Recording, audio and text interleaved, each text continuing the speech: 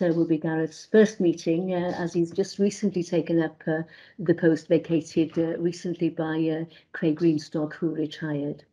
Uh, welcome also to Mike Whiteley and Nathan Couch from Audit Wales, who are attending the committee for the first time, and uh, Marion George will be attending to uh, answer any questions relating to the systems development audit. But it would be remiss of me not to put on record at the outset uh, the sad death of Konrad Kowinski, DHCW's head of quality and regulation, uh, who appeared regularly at this committee since uh, DHCW was set up a year ago. And I'm sure you'd wish to join me in extending our heartfelt condolences to his family and friends at this very difficult time. He will be very, very much missed here. And our Executive Director of Finance, uh, Claire Osmundsen Little, will uh, present the quality and regulation item in his place today. Uh, I shall begin though by asking my independent member colleagues to uh, introduce themselves, uh, beginning with the Vice Chair of DHCW, Ruth. Good morning, Bore da, uh, Ruth Glazzard, uh, independent member and Vice Chair of DHCW Board. Diolch Ruth. Uh, David Selway? David? Are you able to hear us? I think he's frozen. So um, I'll press on then. And in the interest of time, I shall introduce colleagues who are presenting, or perhaps you might like to do so yourself uh, when you're presenting or uh, asking a question or making an observation. Uh, we are holding this meeting virtually via Teams, and please note that the committee meeting is being recorded. Uh, this will be posted on DHCW's website at the end of this meeting. Uh, today's committee papers are publicly available, of course, uh, on DHCW's website.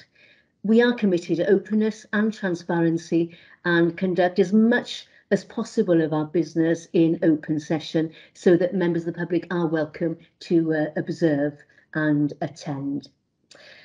We have a full agenda, as you will have seen from the papers, uh, and I will be assuming that those in attendance have had the chance to read the papers before the meeting.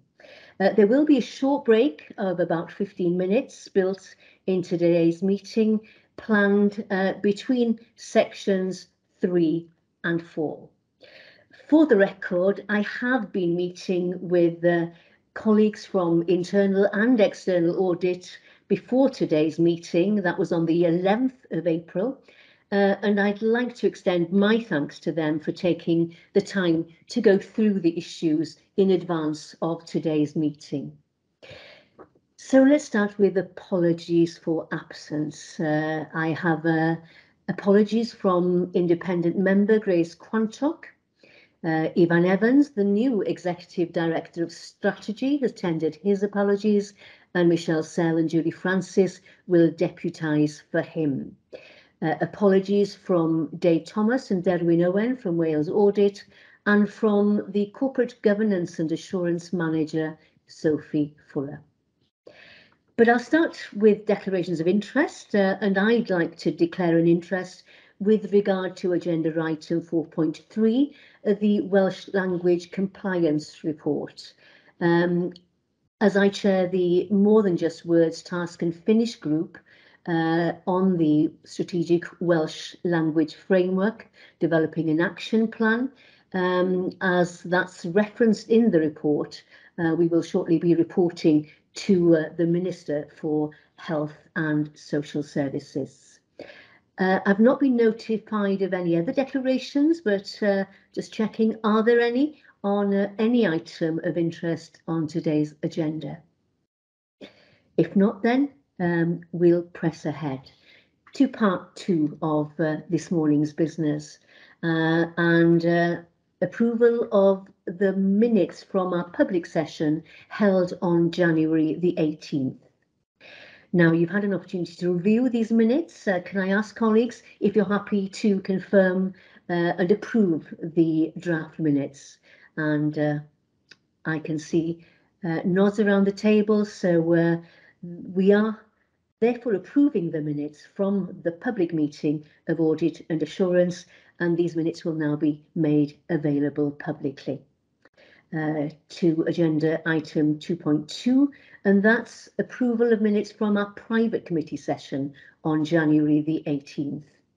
And in line with our standing orders, all decisions and key points discussed in private session uh, should be reported to the next public session of this committee.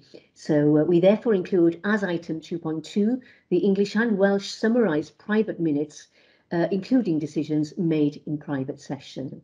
So can I please ask you to review and confirm that you are happy to approve these minutes as an accurate record? Thank you. I can see uh, approval there. So if there aren't any observations or questions, let's move on to the action Sorry, log. Chair, I, I just wanted to make um, one observation, which I always make when we discuss the private minutes, which is whenever we have a private session, we challenge whether it should be held in private or not just to make sure that actually we're conducting as much of our business in public as we possibly can. Um, so that would have been no different with this session, um, but minutes are approved. Thank you. Thank you, Ruth. Uh, and uh, just to confirm that uh, all our committee business uh, this morning is being held uh, in, in public. And thank you, Ruth, for making that point. So to the action log then, um, as you see, there were four actions captured from uh, January 18th. Uh, all four, as you see, have been completed and um, action documented in the action log. Uh, two of the outstanding actions are underway, updates included in the action log. Uh, action AO3 is complete and the paper will be included on the agenda for July's meeting. Any questions arising from the action log, colleagues? No. Um, I'll therefore take that uh, we are happy and we note the status of uh, the action log. Let's move forward then to agenda item 2.4, which is the forward work plan. Um, and um, this is included and I will ask our board secretary, Chris Darling, if there is anything of particular note you'd like to mention. Chris. Thanks, Chair. I think the areas just to point out from the forward work plan relate to July's meeting. So following discussion with yourself and Claire, there's a couple of uh, quality and regulatory items that we've moved to the July committee meeting. So the cyber res resilience unit update and the quality and regulatory annual review. They've been moved from today's meeting to the July uh, meeting. Um, we've also moved the WCCIS um, update from Audit Wales, which I'm sure they'll update on later, and hopefully that can come to the July session as well. Thank you, Chris. If there aren't any other questions on uh, the forward work plan, um, that's been noted. And we'll then move on to part three of today's committee business and to uh, the audit and counter fraud section. Um, so uh, we will start with the internal audit progress report um, and I will shortly hand over to uh, uh DHCW's internal audit uh, team for uh, um, the presentation of that progress report, which contains a general update uh, as well as the uh, anticipated meeting dates that uh, we can expect to receive uh, future internal audit reports. Um, it highlights progress against the plan for 2021-22 and presents an overview of activity undertaken since our last committee meeting we are being asked as a committee to provide assurance to the board that DHCW has an appropriate internal audit plan in place and that is being delivered. Um, I shall also um, preempt by uh, uh, saying that we will then go directly on to the internal audit review reports, of which there are four. We are being asked to uh, note and receive these internal audit reports for assurance. Uh, and I'd like to invite Simon Cookson and Stephen Cheney to present um, the progress report and the four audit reports on uh, Data Centre Project Move, Governance Part 2, System Development and Core Financials. Uh, and I suggest that we pause between each report to take any questions or observations. So then over to you, Simon. Thank you. Diolch yn fawr. Uh, diolch, Marian. Uh, Borada, everyone. Uh, good morning from us. Uh, Marian, you've um, you've you've literally gone through my introduction there, so thank you very much. And I won't uh, I won't go over it again. Um, as as ever, I'm joined by Stephen Cheney and Martin Lewis. Uh, and we'll um, pick up the four individual reports shortly after we've been through the progress report and then move on to the plan and uh, uh, uh a short paper I said I would bring along around KPIs and some of the work we're looking to do going forward there. Uh, Marian, you're absolutely right. The progress report is, is here for noting this morning. It um, confirms that there are four reports completed since the last meeting, and we have two just to finish off for this year. Uh, one around workforce, which is in draft uh, and has a positive conclusion, and the directorate review uh, that we are just about to conclude on, uh, and both of those will come to the next meeting. Uh, along with that, we have now drafted uh, the head of internal audit opinion for the year, which is one of the key pieces of assurance, excuse me, you have and use to provide assurance uh, to the board from this committee. Uh, I'm pleased to say that will be a positive uh, outcome uh, overall in terms of very, a very strong, reasonable assurance overall. I think you'd be surprised if it was anything else, given the results of the reviews you've had during the course of the year, which have been uh, in the main reasonable, but a number of substantial uh, reviews as well. And this morning you have one substantial and three reasonable assurance reviews uh, for the committee to uh, receive. Um, so I don't think there's anything else, Marian, I, I want to say in terms of the uh, the progress report. Uh, as ever, cooperation has been uh, really positive from the organisation. And of course, one of the key things that we've worked on over the last couple of months is putting the plan together for 22-23, which we'll come on to uh, a little bit later. So I'm happy to pause there, Marion, and uh, if there are any questions or comments uh, from members around the progress report. Thank you, Simon. So um, you have the progress report before you. Are there any questions or observations? Not at this stage. So uh, I can't see any hands up. I was only going to mention, I think when we started the year, uh, there was a comment that uh, these were very much back end loaded, if you remember, and uh, we were questioning our ability to deliver. I think what what this report shows is actually, in the majority of cases, we have actually been able to deliver and fulfil that requirement, which I think uh, shows strength in terms of our working relationships with internal audit from a DHCW perspective. Thank you, Claire, for that. Um, Absolutely, and I think we'd all echo that. I don't think there are any other comments or observations, so uh, I'll hand back to you, Simon, then. Thank you. Uh, thanks, Marianne. And uh, if, if, if I may just uh, very quickly pick up on that point, um, while we've been putting the plan together, we've had a number of discussions, uh, you know, which uh, which Chris has facilitated around you know, making sure we have a much smoother program of work during the course of next year so that we have uh, more reports to the earlier audit committees in the year and less uh, toward the end. So uh, fingers crossed, that's uh, that's where we'll all get to uh, next year. So thank you, Chair. We'll now move on to 3.2 and the four individual reviews. The reviews on data center and systems development, I'll ask Martin to introduce briefly, and those around the second part of the governance and the core financials, I'll ask Stephen to introduce. Uh, and Chair, as you ask, we'll pause uh, after each uh, introduction for any questions or comments. So if I could hand over to Martin for the data center review, which was substantial assurance. Okay, thank you. Thanks, Simon. Um, yeah, as um, Simon said, this was um, an audit looking at the um, governance process in place for the data center move. Um, the key objectives were to review the project governance processes in place, uh, review the testing processes, and to look at the um, the lessons learned and benefits from the project, and then to look at the current data center provision.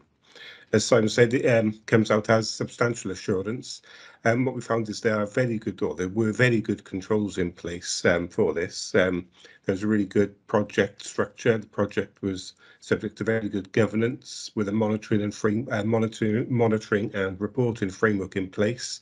Um, the project board worked well, as did the project teams and work streams underneath that. The project um, completed all its objectives and provided the benefits as anticipated, um, which has led to a, a, nice new data center with an upgraded network. Um, there was a post-implementation uh, review done and lessons were identified from the project and they've been summarised into a report and shared across the organisation to feed into future projects. Um, so now you have um, two data centres in place. One's um, brand new and the other one is coming to the end of its contract. So work has um, started on looking at how that data centre can be upgraded and feeding in the lessons learned from the previous project. Um, the risk associated with the inconsistency between the two remaining data centres has been raised as a, a risk on the registrants being monitored. Um, there was no findings from the report as there was substantial assurance and everything we looked at as anticipated was in place. So I'm happy to take any questions. Thank you very much, Martin. Um, it's uh, pleasing to note that overall substantial assurance rating. Um, we have uh, with us this morning Carwyn Lloyd-Jones, who's Director of ICT at uh, DHCW and is here to uh, respond to any questions or queries. Uh, Croeso Carwyn, bore da. Uh, I assume that Carwyn is here, so um, I will now turn to Ruth Glazzard, who uh, has a question. Ruth. Uh, Marion. Um, yeah, I think Carwyn is is here with us. I just wanted to say good job. I mean, this is a, this is a this is a great report and a great outcome for us.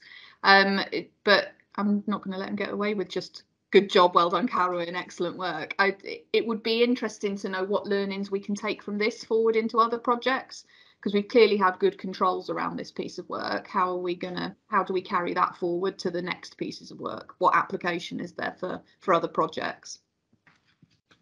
Um, yes, so the the main thing I think, the, the thing that we probably got most praise about was the communications uh, with the outside world in particular, you know, so letting people know when things were happening, that kind of stuff.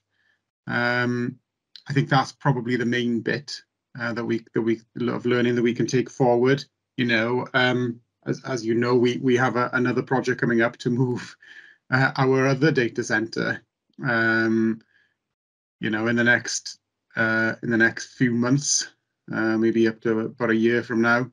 Um, so we will take all of the learning into that um, I think there's been some things that we've learned afterwards as well that we will we will kind of um, feed in as well into into that work. Yeah, Carwyn, and you have identified uh, in um, uh, 2.22 of the, the report that um, there is a, um, a, a post implementation review and, and a process crucially to identify the lessons that have been learnt and how they can be factored into future projects, which is uh, uh, really pleasing to, to hear. Uh, Claire Osmundsen Little.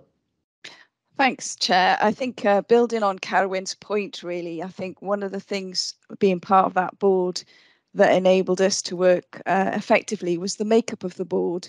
The, the board was made up of representatives from across Wales. So we had um, uh, representatives from Hywel Dda on the board, but equally some of our key uh, influencers to help us deliver that. And that combined with the transparent and open assessment of risk and the communications, I think that combined together enabled us to address this as a collective um, and, and deliver it on time. So, um, and, and equally, um, you know, working internally as a collective, both from a procurement, finance and operational perspective, also enabled us to be agile and respond and react in, in a collective way. So I think think that secret ingredient of communication, makeup of the board, uh, and working um, transparently with a with a good program manager and program process enabled us to deliver a, a pretty seamless um, transition to what was a um, a big move for us as an organisation. Diolch Claire, that's a, a, really important milestone and you've highlighted some significant components within uh, the successful delivery of this uh, programme. Uh, I've got uh, Julie Francis, Head of Commercial Services, your hand is up. Thanks, Marion. It's just really to echo some of the things that Claire has already said. I was involved at a, at a strategic and operational le level with regards to this project. And I think a key factor for that success was everyone was very clear in terms of their roles and responsibilities and obligations um, to ensure that success. Thank you. Yes, Julie. Thank you. Um, so a successful uh, um, project all round and good to receive that substantial overall uh, assurance uh, on the data centre project move. Uh, if there aren't any other questions or observations, Can I thank Carwyn, gai ddiolch i chdi Carwyn, a'r tîm hefyd a llongyfarch chi um, ar uh, y gwaith ar y prosiect yma. Uh, uh, and uh, our congratulations as Audit Committee and our thanks to Carwyn and the team for delivering successfully this uh, data centre project move. Diolch yn fawr. We'll move on then to the next uh, uh, audit report, which is governance arrangements part two. Um, and I'll hand over back to uh, internal audit then, please. Uh, thank you, Chair. Um, Stephen is going to pick this up, but he has just disappeared from my screen. Oh, so... I'm, I'm oh you are there. I do apologise, Stephen. Definitely here. thank you. Um, thank you, Chair.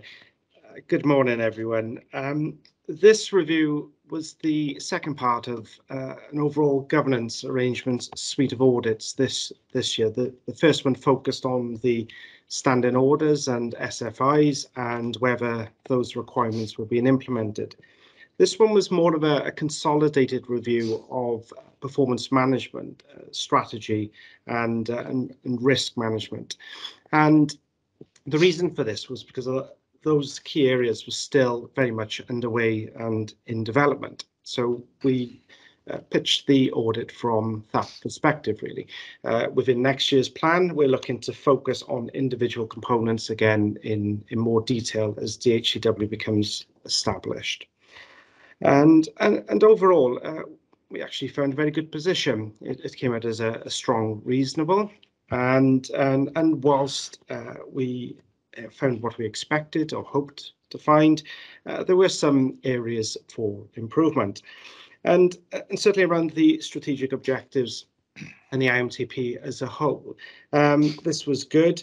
Um, but we did raise questions around whether the objectives still remain valid. Uh, uh, you know, not just the overall objectives, the programme of work as well. So we, we did recommend that this is reviewed uh, to ensure it still reflects what uh, the vision of DHCW is.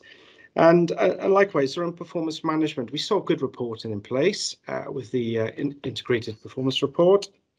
And we suggested that maybe these uh, reporting tools link a bit more clearly to the strategic objectives of DHCW.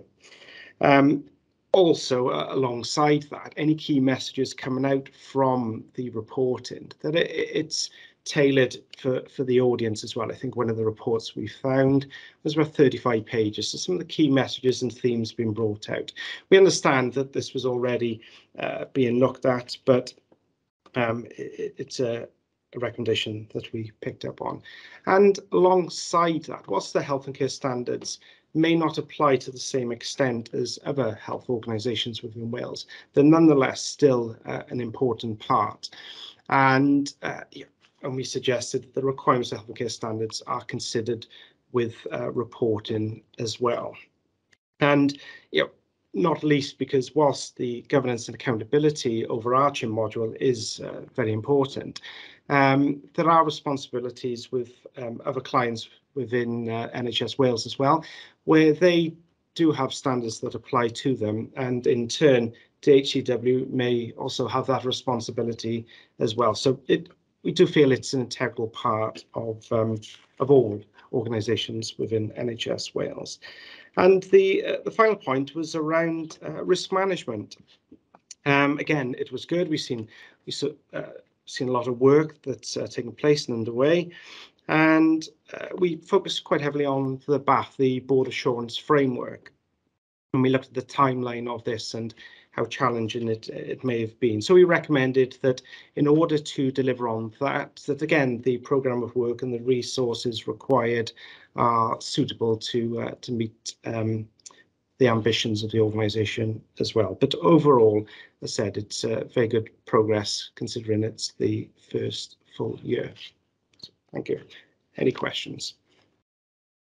Diolch, Stephen. Uh, thank you, Stephen. Um, I can't see any hands up, but I'd be uh, keen to bring in uh, our board secretary, uh, Chris Darling. Uh, is there anything you'd like to add at this point, Chris, in response to the findings of uh, the audit report? Thanks, Chair. I, I, I, think my observation would be it's very much a snapshot of our moment in time as an organisation. So it's it you know the audit took place six to nine months after our establishment, um, and there are areas within the recommendations and within the areas being examined that we are developing, as Stephen mentioned. Uh, from a risk and BAF perspective, I think you know it's an ongoing process for us as an organisation. We will mature. We've had these discussions. We'll mature, grow, develop as time um, goes on. Um, so it'll be interesting to monitor that. And I think the fact that we've got audits planned this year in those specific areas is helpful for us to kind of track some of that change and growth. Um, a, a, number of the areas fall into Michelle's uh, uh, area of responsibility. So Michelle might want to comment as well. Thank you, Chris. Uh, Michelle, would you like to come in on this point? Yes, thank you, Chair. Uh, yes, I guess with the planning and performance hat on, um, I'm pleased to say actually a number of the actions, and I think it's reflected in the report, we have been able to address uh, already. As Chris said, it was a bit of a reflection on where we were in timing, and it was really helpful that the board had the opportunity to spend a lot more time thinking about the IMTP uh, that we submitted uh, for this year than we did uh, last year, obviously, when the board wasn't actually in place uh, when we had to finalise the IMTP. So um, we have had board development sessions and agreed a kind of vision and mission and and certainly um, confirmed the strategic objectives, which I think puts us in a much better position as we move forward into this year now. Uh, the performance report, also an area I, that I lead on, we are continuing to refine that. I think it would be fair to say. So we'll reset now for the new IMTP and the, uh, the objectives that have been set out. Um, and we're we're continuing. We've got some sessions in the diary to continue to work with the board really to to really hone that. I think in terms of the key messaging. So uh, yeah, that's a, that's a bit of a work in progress. Thanks. Diolch, Michelle. Thank you, Michelle. Uh, Michelle Sell, of course, is our Chief Operating uh, Officer. Uh, I'll turn now then to Ruth Glazzard. You got your hand up? Diolch, Marion. I just wondered if um, Michelle perhaps could comment a little bit more about the healthcare standards piece and how we think we might um, we might merge that in where where relevant, I guess, is the is the key bit, and we call out where it's not. Shall I respond on that, Chair? Yes, I think relevance, and, and to be fair, colleagues did uh, that as they were presenting the report. So obviously, as we're not providing care, um, a number of the standards are, are uh, less relevant or perhaps a bit arm's length to the services that we provide, but not irrelevant. Perhaps I'd be careful how I say that. So I think that is a task that we're looking at now with the with the performance team is to understand, okay, so of the ones that are most applicable to the services that we deliver, how will we reflect those in the performance report? So I am expecting that to be in the performance report as we go forward. And I think, again, it's another area that we'll probably want to work on over the next year to make sure that we've got the right level of um, priority, really, and visibility against those standards as an organisation. Yeah. Diolch, Michelle. Um, Chris. Yeah, it's just on that point as well on the healthcare standards. I think one of um, when we look through, you know, when we did the self-assessment this year, obviously we we marked a number not not applicable.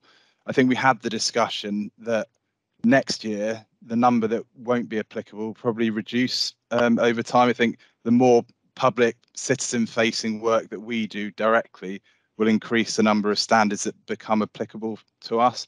Likewise, as we get more into the medical devices uh, area of work, more will become applicable. So it's an area for us to keep a, a close eye on, I think, as we move forward.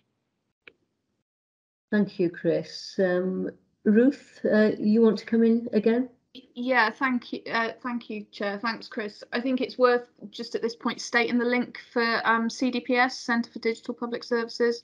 They've got a new head of standards in place, and obviously they are looking at how they deliver um, in the health, potentially in the health space, and what they look at there. So there will be some connections, Michelle, that I, I'll be wanting to make with their new head of standards and our standards team um, to see if there's anything that they can be doing to to help support us in um, as, as we move forward looking at different sets of standards. Um, so we'll have a we'll have a conversation about that outside of this meeting. So uh, thank you and of course Ruth sits uh, on behalf of DHCW on on that board. So so thank you for for that clarity. Uh, so overall reasonable assurance which is pleasing to note a point in time um, and uh, there will be further audits uh, uh, reflecting, I'm sure, the fact that uh, this governance journey is very much work in progress and we will see that work evolving over the coming months and look forward to seeing the future audits uh, on uh, on this area. So thank you all for that. We'll move on then to the system development audit. And uh, Mayron George is here as well to respond to any questions or queries, but I'll hand up first, hand over first to uh, uh, internal audit, if I may. Uh, thanks, Chair. Martin will pick this one up. Um, thank you, Chair. Thanks, Simon. Um, yeah, this was um, an audit on systems development. Uh, the overall purpose was to provide assurance over the process in place for developments the key objectives we covered in the audit were looking at the procedures and guidelines, um, looking at the training and skills in place within the department, looking at the design process and links to the user needs, looking at the development process, and then following on to um, testing, and the de deployment process, and then the ongoing maintenance of the uh, systems in place. The outcome of the report is that it's a reasonable assurance overall. Um, there's plenty of good practice in place and there's procedures and guidelines um, available for staff. And in general, there are good processes in place and developments um, are undertaken appropriately and match the identified user needs. The development process um, is agile um, and it can be tracked from the user request uh, through the design process um, to the final product with there's um, a, a, proper quality assurance and review process in place, um, testing's undertaken on all the code that's being developed, and there's um, a controlled deployment mechanism to make sure it gets rolled out safely and securely without causing any issues. Um, there were three um, main findings within the report. Uh, the first one is that although training needs are identified within the department, um, the training isn't always provided to staff. Um, so there is a skills gap in place within the department overall. Um, it's slightly compounded by the quite large number of vacancies within the department, but I know there are kind of plans in place to kind of resolve that. And you have bought a new kind of software training service, basically, which um, will free that up a bit. Um, we also note there there are some differences between the various teams um, involved in development.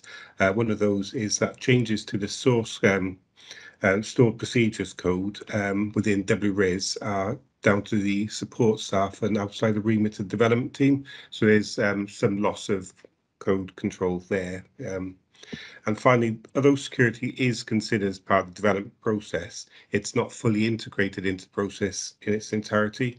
Um, there's no process for um, code review by security, um, and there isn't or there wasn't a, a, proper checklist to make sure security is formally considered at each stage. Um, so we discussed these issues with management, and we have identified you know there's agreed actions in place to um, resolve it and take it forward. So overall, reasonable assurance, and I'm happy to take any questions. Diolch Martin, thank you. Uh, are there any questions? Uh, I can see a hand up, although I'm not entirely sure whose hand that is. So do Be mine, Marion. Thank you, David. Do come in. Uh, yeah, apologies for not introducing myself. My internet connection dropped out just at the vital time, so apologies for that. A uh, couple of questions, please. Um, um, the report refers to using an agile methodology. Um, uh, I, am just clarifying whether we've got any legacy projects that are still using waterfall or whether we've completed those. So that's a point of clarification. And then the second is a question around the level of vacancies. Um, has that got worse since this time last year in terms of the percentage shortfall of staff we've got? And if it persists, have we got some assessment of the impact to um, programs we've got covered in our IMTP this year? Shall David, Martin, do you want to come in initially on the uh, uh, that first point? Um, I, I couldn't answer that question because this is more about the ongoing development rather than specific projects. So it is looking at is our systems being developed. So I, I couldn't tell you whether or not there's legacy projects using the waterfall. My suspicion is probably no, but I guess uh, mine Chair, probably better. Chair, could I come in there, please? Uh, the answer is no. Uh, to, to take David's point, can I move on as well to that recruitment issue? Uh, ADS have 23% more staff in post now than they did this time last year. I think part of our difficulty is, and our ongoing difficulty is the expansion of of the remit of DHCW and the, and the programs we have and trying to keep pace with that. So well, there's lots of things going on behind the scenes in respect to that, particularly from uh, our workforce colleagues, but also we, we're not looking at recruitment, we're looking at capacity planning going forward. So it's actually recruiting staff. We are using more um, third parties. We are using contractors because we have to at this point in time. Uh, but we do measure that ability to create that capacity against the expectations of the IMTP. So the IMTP does not assume, for example, we're going to have a 100% fill rate between now and the end of the year. So we do temper that expectation. So um, although it is a difficult situation, as you know, uh, we are revising with workforce colleagues the job descriptions. We are taking um, non-pay benefits of employment with DHCW as part of our offering, and that appears to be having some success from the new channels we've got, particularly via LinkedIn and CV Library, where we get a lot more applicants looking at the, the, the non-pay advantages of coming to DHCW, pension, culture is a big issue uh, uh working for DHCW. Uh, the training opportunities, which, to be fair to the work that Martin's team done here, historically we haven't been where we should have been, but you know certainly as far as our um, training plan and training needs analysis that is up to date. Our training matrix in respect of all the jobs we have have now been completed and we're aligned in the expectations uh, of the skill set we want for people against all those roles. And as part of the budget setting process for 22-23, in conjunction with Claire, we've allocated more money within uh, ADS for targeted training to address some of the uh, skills deficits we got. So there's quite a lot going behind the behind the scenes. I suppose the two key issues for me coming out of this is, yes, we need to make security issue integral to our systems development, and that's something we we're going to be looking to address. And the professional uh, development skills pathway needs to be developed. However, I think you all agree we need to do that in con conjunction with Gareth Davis now, who's now appointed as a new executive lead, and we'll be addressing that with him quite shortly to take his uh, his take on the things. Now we take things forward uh, from year on in and address the recommendations of this report. Diolch, Marion. Thank you. Does does that answer your question, David? Uh, yes, it does. Thanks, um, Marion. And um, I, am pleased to note that we're making more use of strategic suppliers to to uh, undertake work, which is uh, one way of solving the, the challenge we've got. And I'm pleased to know that we've actually increased headcount since last year. So we're, we're moving in the right direction, just struggling with the prevailing market conditions for people with these type of skills. So uh, yeah, thank you for that. Which is why, David, we have to we have to fight on a non-pay basis because Agenda for Change isn't competitive with the open market. Yeah, yeah. And of course, uh, skills shortages, staff vacancies are uh, clearly articulated on our risk register along with the uh, mitigating actions and no doubt we'll come back to that uh, uh, in, in due course this morning. Um, that appears to be the all the comments and questions, Marion, so thank you for joining us this morning. No problem. And it is pleasing once again to uh, receive that overall reasonable assurance with the caveats that clearly uh, has been uh, outlined. So we note uh, the overall reasonable assurance on the system development audit. Uh, and move on, therefore, to our fourth audit, which is the core financials. Um, and uh, Claire Osmundsen Little will be here as well to respond uh, uh, at the end of internal audit's presentation. Who's taking this last audit then? Stephen will, chair. Thank you. Thank you, Simon. Thank you, Chair. Um, yes, I'm picking up core financials and like the uh, previous audit around part two of corporate governance arrangements, um, this is something that's uh, well, to a degree, still in development, but overall, we did raise a number of recommendations, but uh, it was still a very strong, reasonable overall as well. Um, some of these recommendations, as previously um, have already been worked upon and are in the process of being addressed or have been uh, addressed. And as you may have seen, some of the recommendations uh, very much focusing around enhancing current controls. So we, we, we looked at um, literally quite a broad remit with this one from financial control procedures through to the budget control arrangements, banking environments, uh, procurement and agency as well. Um, the financial control procedures uh, are very good, uh, very strong, and yeah, we provided substantial assurance over that area. On the budgetary control side, um, it, it, was good overall, um, but there are some recommendations coming out. So again, uh, linking through to the requirements of the SFIs, maybe the reporting uh, can be improved around that. So these are the requirements of DHCW. How are they being monitored and reported on? Uh, likewise, some of the budget holder, uh, budget holder meetings as well. Uh, there is a requirement where there are variances that these meetings take place and, uh, and actions undertaken. And, and, and we saw you know, an area for improvement there as well. And one of the key tools that budget holders can use is something called uh, Power BI. Uh, we spoke to 10 individuals as, as part of the review, and uh, uh, and you know nine of them don't routinely use it. Uh, uh, and likewise, you know, five of them admitted that they wouldn't necessarily know how to use it. So there's a bit of an opportunity for improvement there to give budget holders, you know, they have the tools, um, but to be actively encouraged or enabled to use that tool to look at variances because uh, picking up on the point that was raised just now, there is um, there is a gap in terms of recruitment because of the workforce challenges, and this has led to uh, an underspend across the organisation as well. And for this year only, it, you know, we were informed that uh, you know, any underspends should be used for training, maybe software upgrades. Uh, so that there's um, a role there that could be uh, improved upon to ensure that money is being uh, spent or put to, to the best use. Um, alongside that, we we had a look at uh, a couple of the other financial controls, uh, environments in particular. Um, there weren't uh, there weren't a huge number of environments, uh, and uh, these are transfers between cost centres. Uh, but when one should um, when when environment does take place, um, there's, there's a process to go through, including authorization, and you know we were informed that this was happening, but the audit trail could be, what we felt could be in, improved upon to give that evidence of direct uh, sign off. Uh, and likewise on the bank reconciliations, as you would expect, it's a key part of the financial statements and the monthly reporting. Um, this has taken place, the reconciliations are there.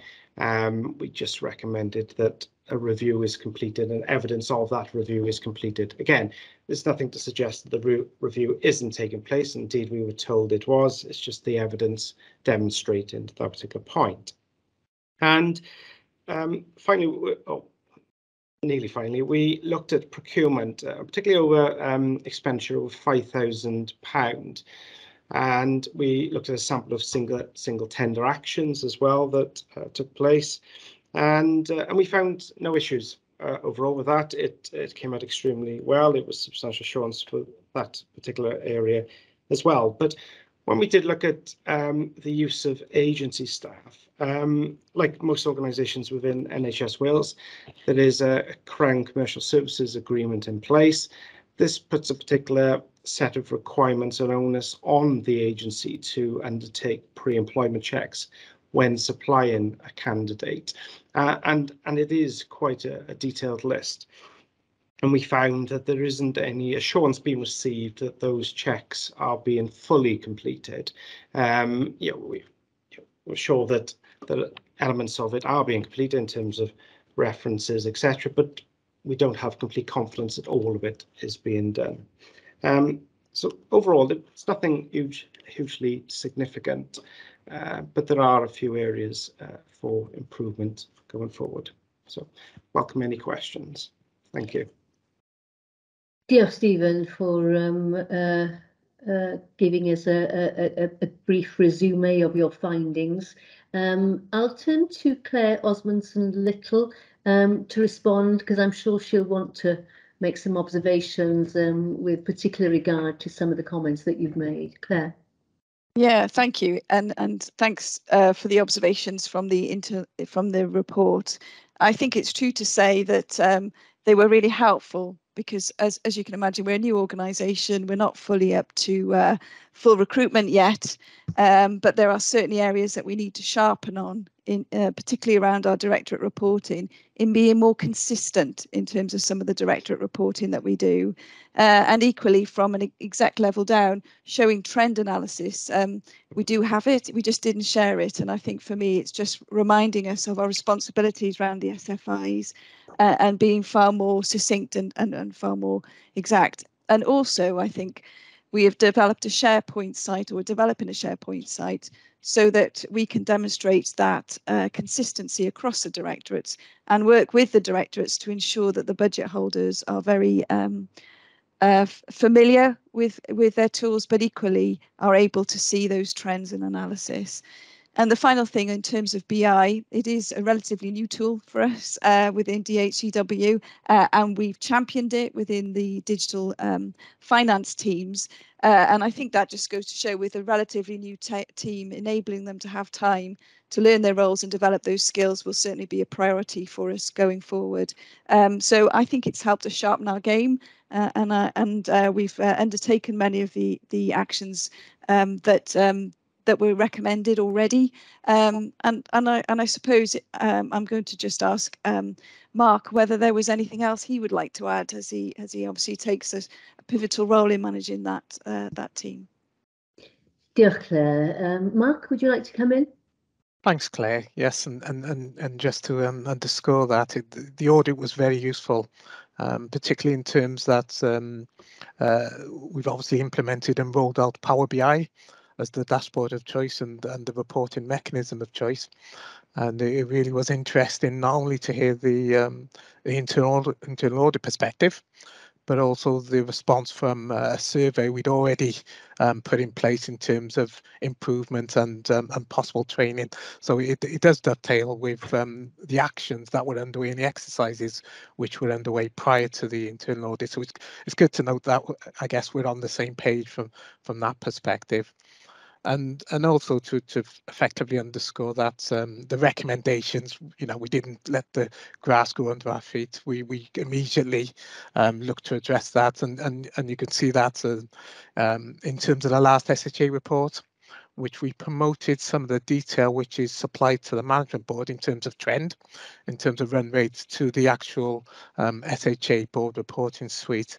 Um, so yes, um, it's welcomed. Um, it was um, heartening to see we had substantial assurance around the financial control procedures, but uh, as Claire's mentioned, um, there's always improvement and uh, th this is part of the service improvement that's underway within finance as we speak.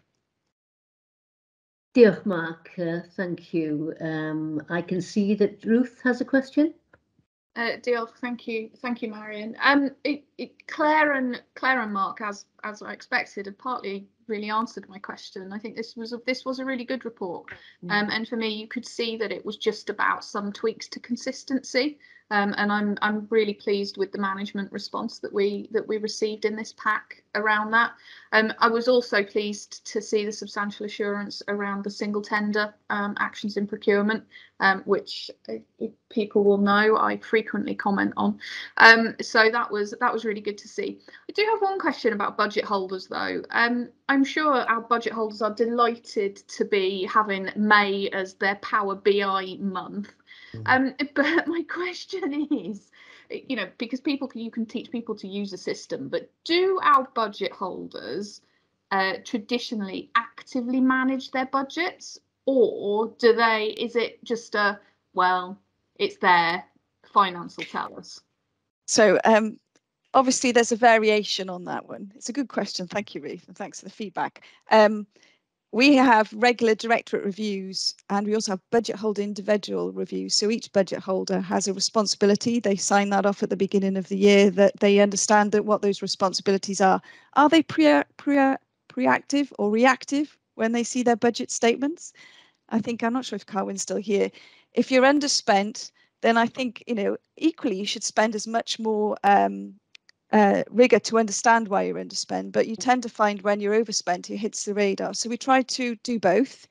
Um, and as um, as you know from our management accounts and, and, our, and our reporting, um, I think it depends in the area that you're in, and it also depends on the maturity that we're developing um, within our governance process throughout DHCW. I think traditionally it was seen as it was finance's problem, and we've taken it from that to actually trying strategically for the budget holders to understand their budgets and their spend, understand the drivers of that spend, and try and look at it um, through not just an operational uh, lens, but through a business partner, through a, a, more of a strategic lens.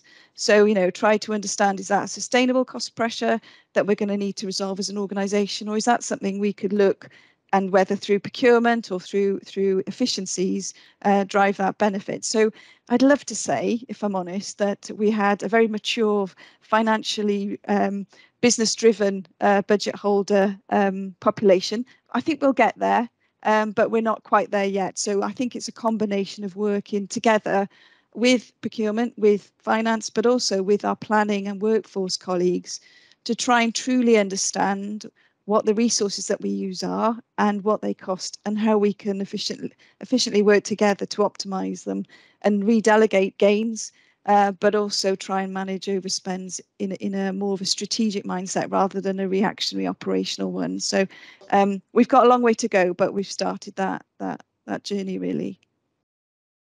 Diolch Claire, um, and I can see that Mark Cox would, would like to come in. Is it on this specific point, Mark? It, it is, Marion, and, and it's just underscoring that again. Um, you know, it, there is variability on the patch uh, Ruth, and um, certain budgets um, uh, have different levels of complexity.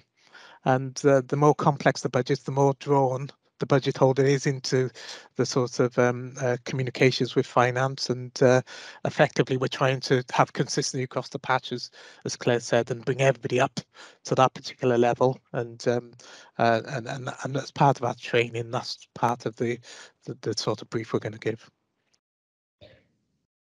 Thank you. Um, I can see that there is another hand up, although I can't exactly see on my screen whose hand that is. It's, um, it's me, Marion, Julie Francis. Julie, do, do come in, Julie. Yes, uh, sorry uh, about that. That's okay, Marion. Um, I just wanted to pick up on Stephen's point in relation to the checks being undertaken around agency contractors. Those are now being built, that's now being built into the process that we're conducting. So thanks. Thank you for that confirmation, Julie, and uh, and pleasing to note that uh, uh, a number of actions are underway as a direct response of the recommendations in this audit, which underlines how helpful these audits are in terms of our journey of improvement as, as a brand new organisation. So uh, our thanks to our internal audit colleagues, um, and unless there are any other observations or questions, um, I just like to note that we are receiving all four reports for uh, assurance um, and like to formally thank Internal Audit uh, for the uh, way they've conducted the audits, which has been uh, extremely helpful uh, as we move forward. So thank you, and we'll move on to the internal audit plan for 22-23, which you have in your papers. Simon?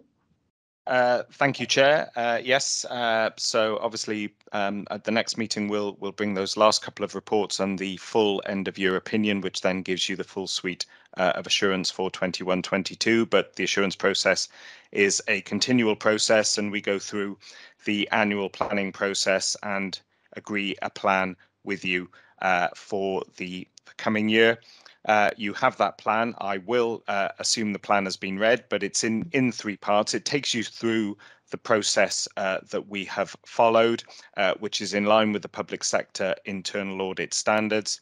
It then sets out, starting on, on page 125 of your papers, the actual plan for 22-23, the areas uh, that we've identified, linked where appropriate to uh, corporate and key risks uh, of the organisation.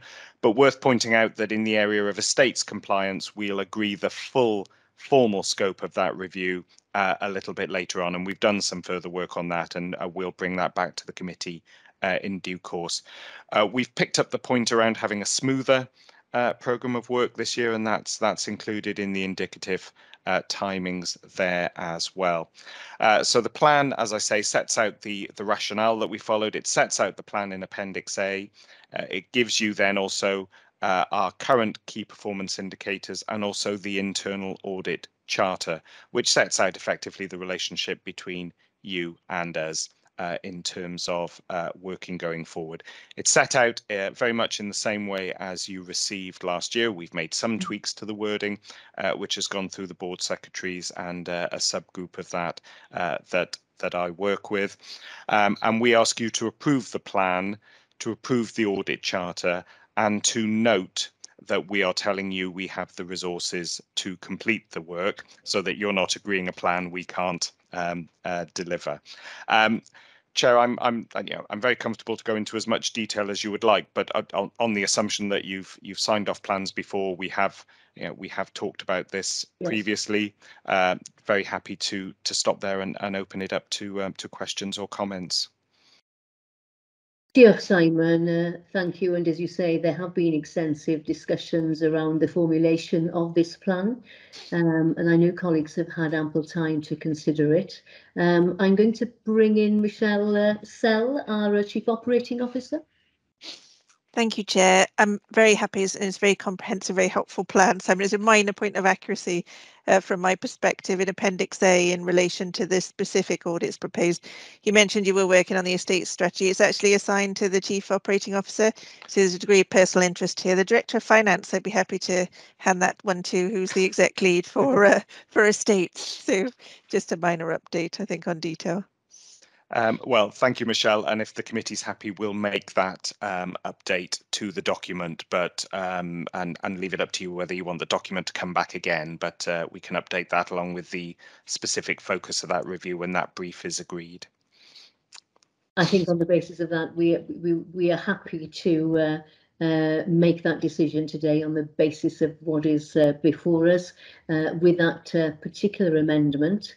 Uh, I can't see any other questions or queries, so I think uh, we are being asked to uh, approve, as Simon said, the internal audit plan for 2022-23, approve the internal audit charter, uh, and noting the associated resource requirements and KPIs which you have before you uh, in uh, agenda item 3.3 and 3.4. So I will take it that we've approved that plan and look forward to uh, uh, reports uh, and uh, the audits being conducted, uh, which, as you say, are more front-loaded. Uh, there's more of a consistency of timing with regard to this plan than was clearly possible in the, the last year in question. So thank you, Simon, for that. And thank you, internal audit colleagues, for your contributions and observations uh, uh, this morning. Um, I uh, will turn now to uh, the next part of our agenda item, which is the Audit Wales uh, Committee update report, agenda item 3.5. And um, it's my pleasure now to invite Darren Griffiths, uh, the audit manager, to present uh, Audit Wales's update, which uh, includes the Welsh Minister's uh, uh, direction that uh, DHCW will prepare a 15-month set of financial statements to 31st March 22. Um, and Appendix 1 there, you'll see useful key messages from recent key publications, including the joint working between uh, emergency services. Uh, and this report is coming to the Audit Committee for Assurance, and uh, I will hand over then to Darren Griffiths. Darren. Diolch yn fawr iawn, Marianne. Uh, bore da bawb, good morning everyone. Um, my colleague Mike will cover the financial audit update and I'll just take you quickly through the, the other sections of the report. Um, so there is no performance audit update because we have completed and reported on the baseline governance review. Um, that was the only piece of performance audit work in the 2021 audit plan. Um, in terms of GPX, which is our good practice exchange program, there have been no events since we last reported to the committee um, in January. However, uh, we have launched a, uh, a, a, new program called um, COVID-19 Perspectives, where we have interviewed um, colleagues from across the public sector uh, to invite them to share their experiences of the impact of um, COVID-19 um, on the way public services are governed and delivered. Um, and the board secretary kindly agreed to be interviewed um, as part of this programme. Um, we are uh, releasing the interviews uh, gradually over the next couple of months, um, and we will share the link um, to the interview with Chris as soon as it becomes available. But just really want to thank Chris for agreeing to participate um, on behalf of DHC W in the in the program. Um, as the chair has noted, there is a summary of a national report um, on joint working between emergency services. So the key messages are set out in Appendix 1. Um, however, since publishing our update, we have also released a blog on um, the pressures in the unscheduled care system. Uh, now, whilst not directly relevant to DHCW, um, it does mark the beginning of our work across um, the relevant health bodies on system pressures within unscheduled care. Um, and we will be undertaking further work um, and any relevant key messages um, will be shared and reported um, to this committee. Um, and as Chris mentioned earlier, in terms of WCCIS, um, we have prepared a draft update uh, letter to the Public um, Accounts and Public Administration Committee. Um, the draft has been shared with colleagues at DHCW for clearance. Um, and as soon as the update has been considered by the committee, we will bring it here for your information. Um, I'll now hand over to Mike, who will provide an update on our financial audit work. Thank you. Diolch, Darren. Uh, thank you, Darren. Good morning, everybody. Good morning, Chair. Um, just to briefly take you through the financial update section there, uh, as, as previously mentioned, we now have the accounts direction issued from Welsh Government, which confirms the 15-month set of accounts. That's for, uh, following from 30th of December 2020 to 31st of March 2022 with that first period up until the 1st of April 21 being the shadow form period, no formal resource allocations uh, were given to DHCW in that period. Um, but for completeness, the accounting period needs to cover the, the full 15 months. So, so you'll see that as a a link to the risk in the financial audit section in the audit plan coming up next on the agenda. Um, the audit of the financial balances transferred from Velindre has now been complete. There been no issues arising from the transfer of that. So they've finished their side of it. From our side of it as a DHCW audit team, we're now kind of doing our work on confirming those opening balances have been correctly reflected in the ledger uh, and appropriately allocated. Uh, but work completed to date has not indicated any issues with that. Happy to report. Um, finally, in paragraph four there, uh, the deadline for the draft financial statements was Friday last week. Happy to report uh, the accounts were received in advance of that deadline, albeit half an hour in advance of the, the noon deadline, but um, still earlier than most I've received, to be honest. That's a really positive, um, a really positive kind of uh, issue there. And you know, my thanks to Mark and Sean and, and the wider finance team. It's a significant achievement for them in terms of getting those accounts to us and also all the supporting working papers ready for us on that day as well, um, which is really helpful for us as an audit team because that means the audit starts in earnest well Friday afternoon and continues this morning. Um, so again, just to express my thanks there. Um, I thought it was probably just worth reflecting, Chair, if I may, just just on the positive relationships that we've developed with the finance team. Um, coming new to the audit in January, um, yeah, it's been really positive really engaging and you know the team are open with us coming to us with any potential issues or questions or not no problems. I can't say they come to us with any problems but just really happy that they feel they can come to us with anything any questions. And we've been working through those in the run up to the accounts. I think that's really helped the process. Happy to take any questions Thank you, Mike, and that's really pleasing to hear your positive observations, especially about the openness and the positive relation that uh, the relationship that's been developed between you and the finance team. Uh, and um, on that note, I will bring uh, the Deputy Director of Finance in, uh, Mark Cox. Thank you, Chair, and, and thank you, Mike. I'm, I'm not I'm not going to go into detail because I know there's a separate agenda item, but um, just to reciprocate, I think Claire, myself, and Shan, uh, you know, we vow to be completely transparent, and um, obviously that that can go into some gory detail at times. But I think our sort of weekly sessions are, are extremely helpful. Um, they helped us deliver the draft accounts on time, as you as you mentioned, and um, I think we've um, we've obviously given the heads up in terms of um, areas I guess you would like to um, to to to focus on as part of this this um, this audit, and um, uh, we, we hope it carries on in a, in a similar vein. But, uh, thank you, Mike. Diolch, Mark. Um, Claire. Yeah, um, thank you for your feedback, Mike. It's really um, heartwarming actually because it is a it is the hardest and toughest couple of weeks we've had in the finance team to get everything done complete and and they're all new forms so it's it's pretty new to us all in terms of completion. Uh, one observation though for for me having done work closely with the team is is the the importance of digital and and looking through the accounts and the way they're structured and the way that they're formatted is is how sometimes challenging that can be uh, because digital is relatively modern, relatively new, and the data structures and the way we analyze our data and classify it um, does does create some insights and and and and some challenges, I think, to really reflect the true uh, essence of what we're trying to report. So something perhaps not for today, but you know, as we go through this process, is it this is a new digital organisation, um, and using your experience and broader um, insights really to really look and reflect on how do we reflect that financially in our accounts um, so that any reader can really understand, I suppose, um, what we've done, where we spent it, and how efficient and effective that's been, really. Um, so I think it's the start of a, a new journey, a new chapter. Um, but um, I welcome your feedback and I'll feed that back to the team um, back at base. Thank you.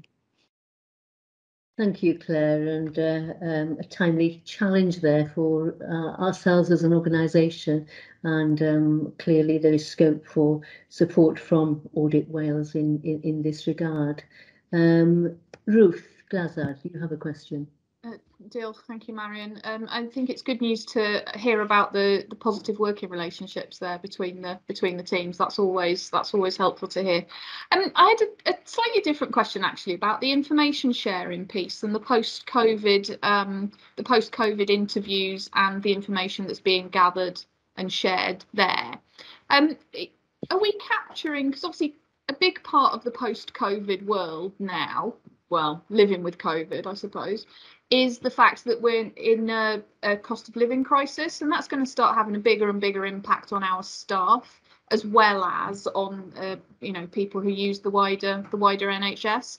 And I just wondered for, from our audit colleagues, are we picking up any of those themes in some of these information sharing uh, sessions, and how are we how are we passing on that that learning? Thank you, Ruth. Um, it's a, a, fairly recent uh, issue in terms of the last few months, but uh, it's a, a, pertinent challenge from, from Ruth. Um, who would like to take this, uh, Mike or Darren?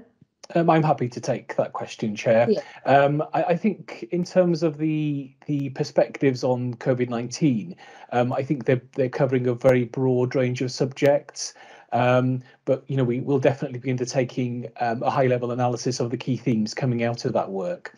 Um, but also, I think it's important to know that we've also recently been consulting on the Auditor General's programme of work um, for the next couple of years, um, and um, the the programme of work has indicated, you know, a desire to look at inequalities um, and the impact of poverty um, you know, in terms of of of on in terms of our communities.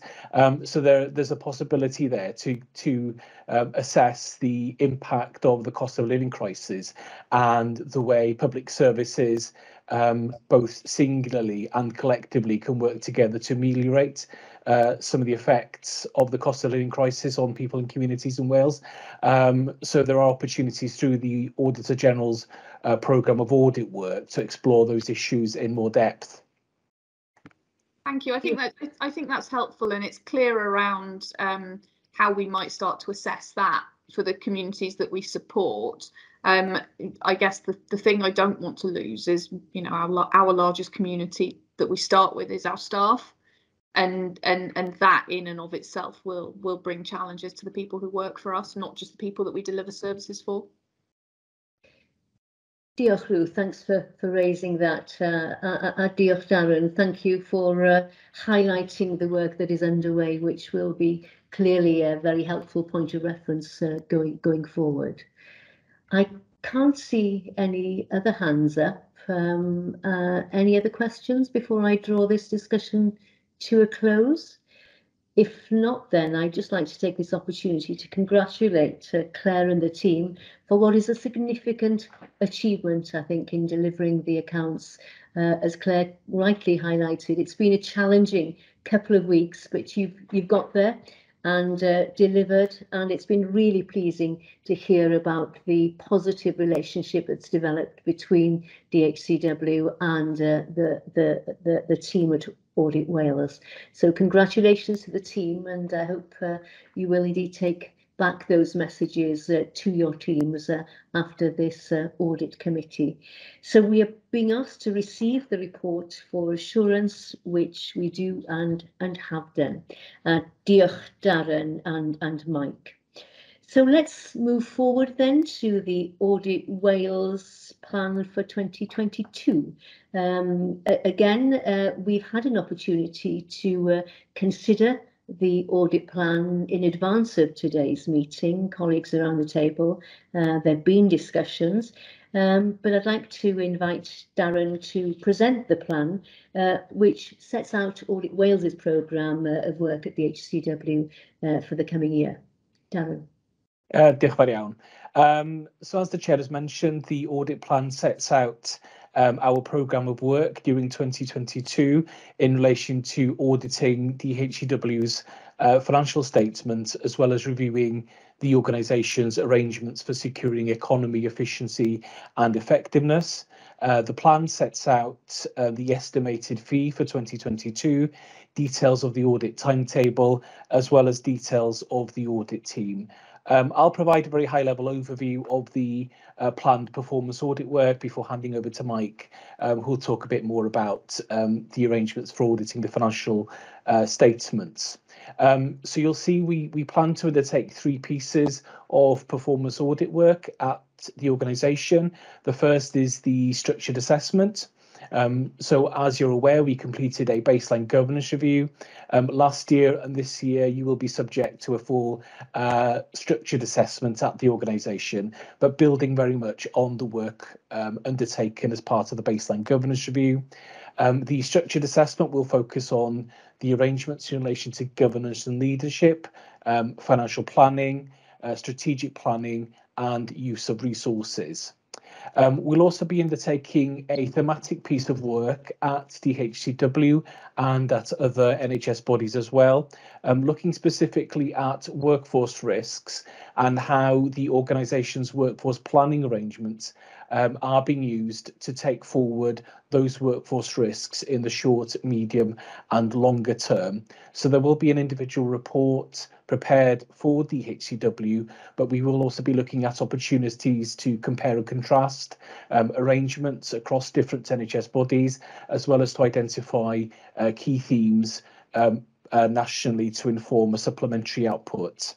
Um, and there's also scope within the fee to undertake a bespoke local piece of audit work um, at DHCW. And we've already started um, discussing the, the precise focus of this work with Chris and other executive colleagues. Um, and we will be bringing forward um, the proposals, um, hopefully to the next um, audit committee meeting. Um, we are very conscious of the need not to duplicate um, work and efforts, particularly in terms of the work um, internal audit colleagues are undertaking. So it will be aligned to the strategic risks of the organisation, but focusing on a different area of work.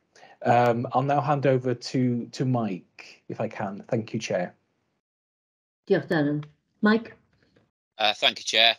Um, I think kind of in in going through the financial aspects of the plan, um, I was proposing just to kind of tease out some of the risks in the financial statements risk table in Exhibit 1, which starts on page 167 of the agenda papers, just to get, give a little bit more context around some of those uh, that might not seem um, that familiar if you've not been through a, an external audit process before, if I may.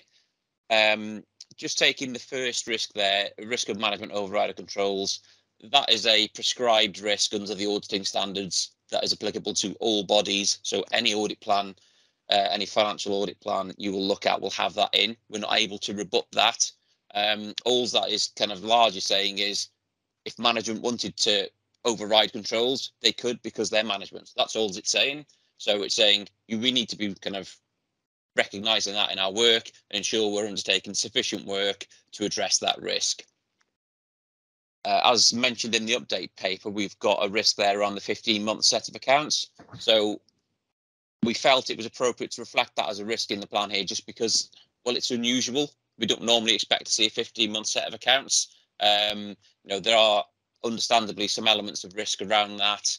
Um, but as I've kind of alluded to earlier, happy to report we've not got any concerns over that at this stage. We just need to work through that now from looking at the guidance from Welsh Government, looking at the accounts direction and working through that with the accounts templates that have been provided by Welsh Government.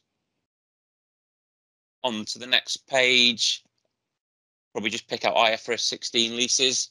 So that's a new accounting standard that's coming in next year. Um, but some disclosure information needs to be included in this year's set of accounts in terms of just flagging that potential impact. What could the changes be kind of coming forward? Um, review the accounts confirms that um, that information has been produced. There was a risk there that um, we might not have had sufficient background information on the number of leases, might not have had sufficient detail on the nature of the leases and so on.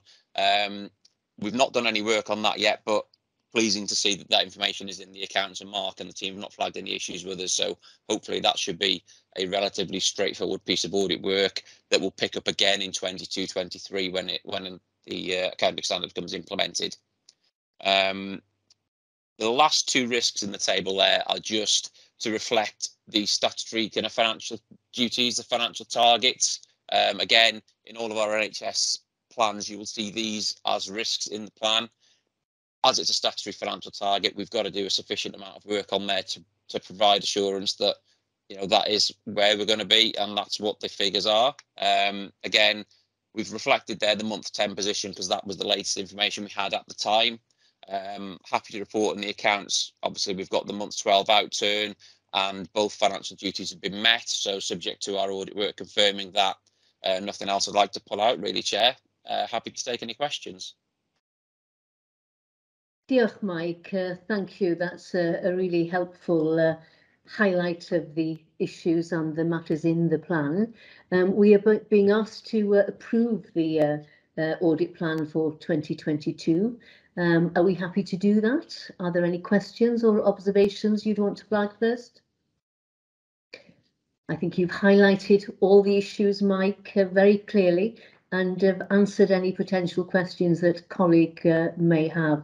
You'll see before you then the plan, which includes uh, uh, details around the fee, the audit team and the timetable. So uh, on that basis then, I think we are happy to approve the plan and uh, look forward to receiving update reports uh, at our next committee meeting.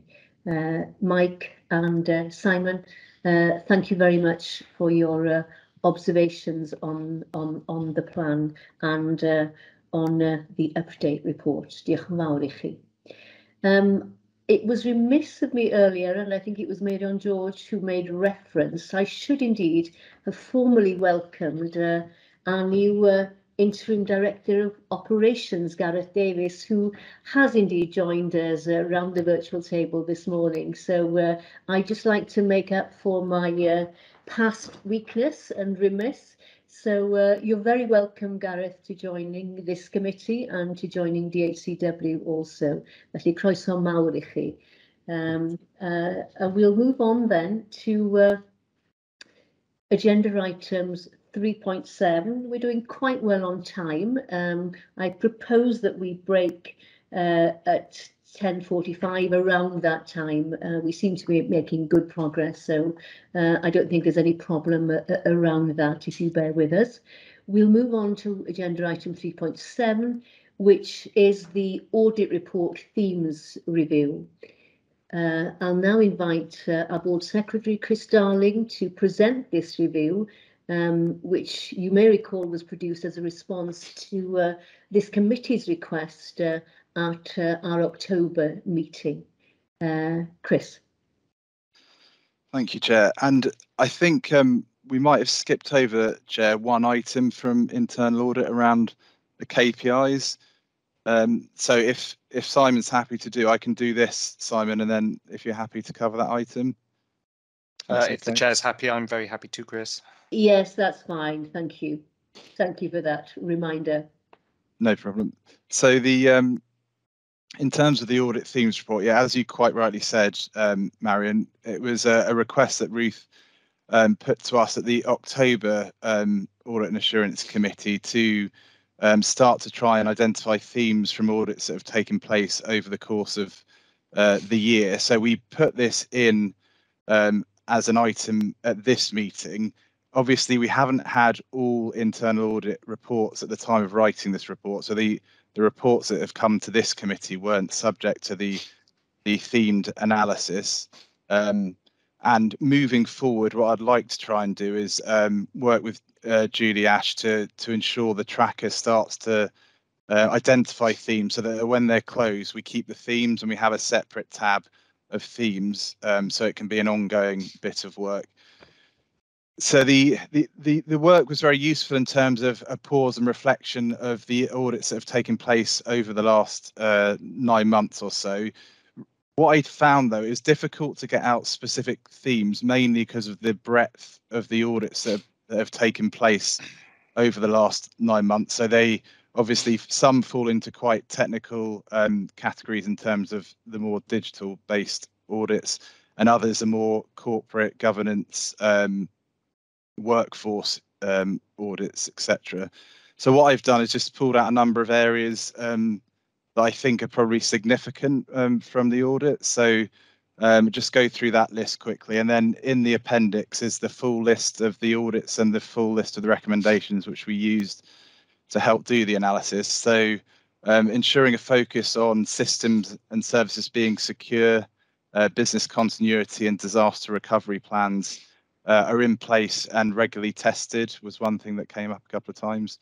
Um, in terms of um, working with suppliers, uh, contract metrics being in place with third-party suppliers, the role of the NDR in one of the early data uh, audits being clearly defined was identified, and I think that's been a theme, not necessarily through audits, but generally through discussions over the past nine months or so.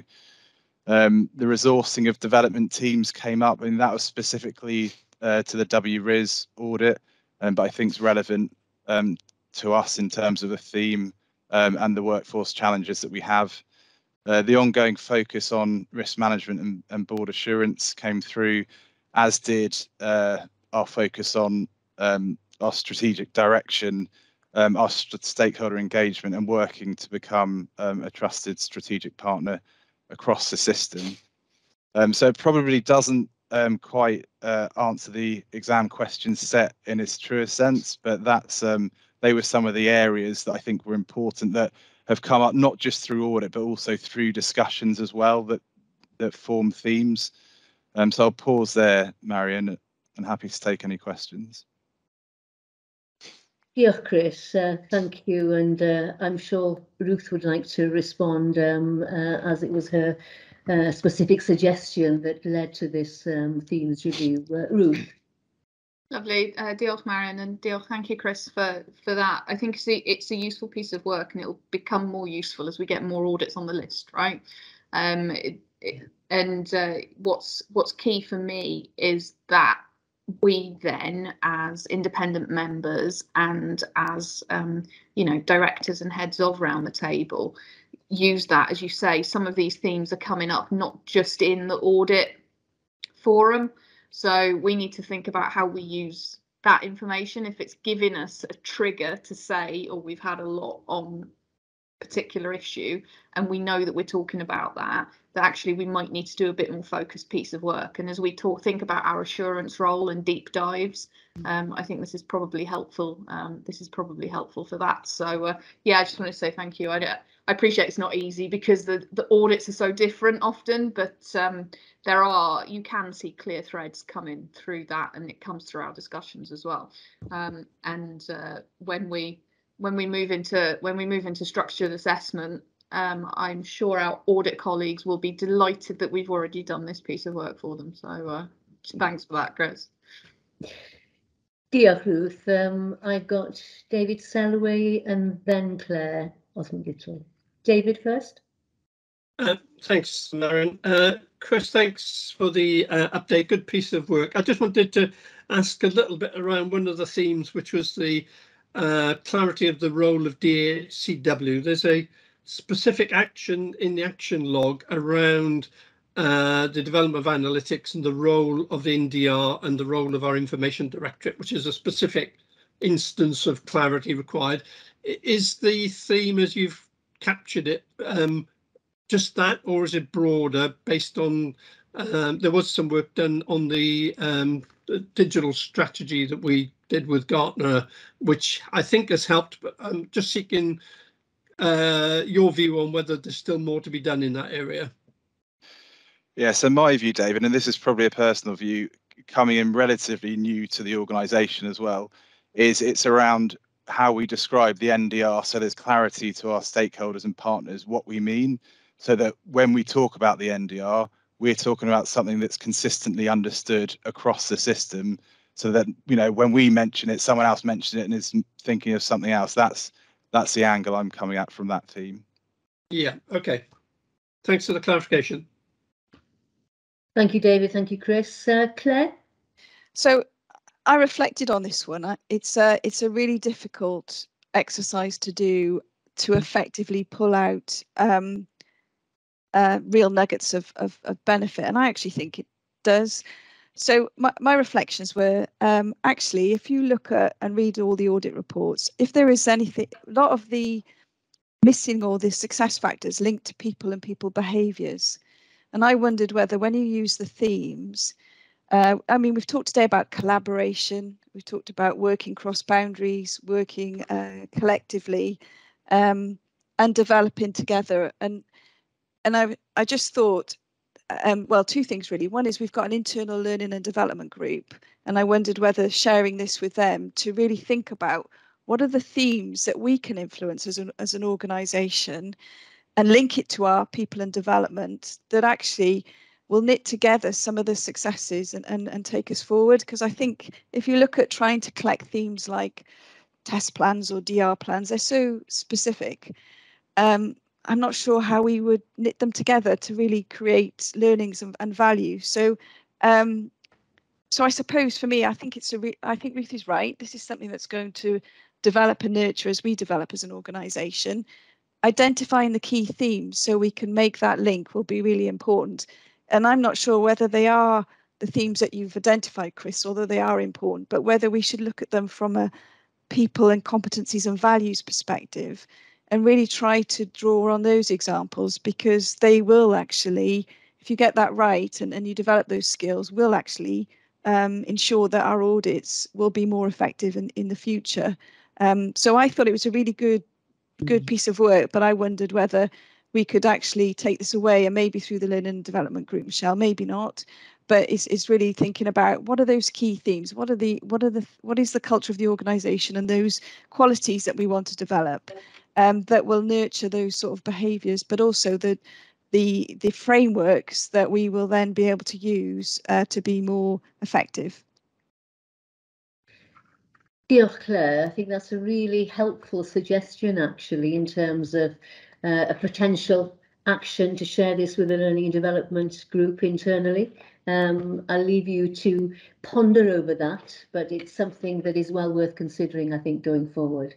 So, Chris, as you can see, it's a really um, your your review has been very warmly welcomed. I think it's a very helpful first step uh, in a journey of identifying more detail around the qualities that actually uh, help deliver excellence and transformation within DHCW. So thank you for that. And um, we note the themes review, which has not been an easy task. So I think you've done incredibly well to have identified it to the degree that you have. And no doubt it will uh, be a helpful base for the structured assessment going forward as well. Felly diolch yn fawr. We'll go back now then to the internal audit KPI overview, which we missed out earlier, which was agenda item 3.4.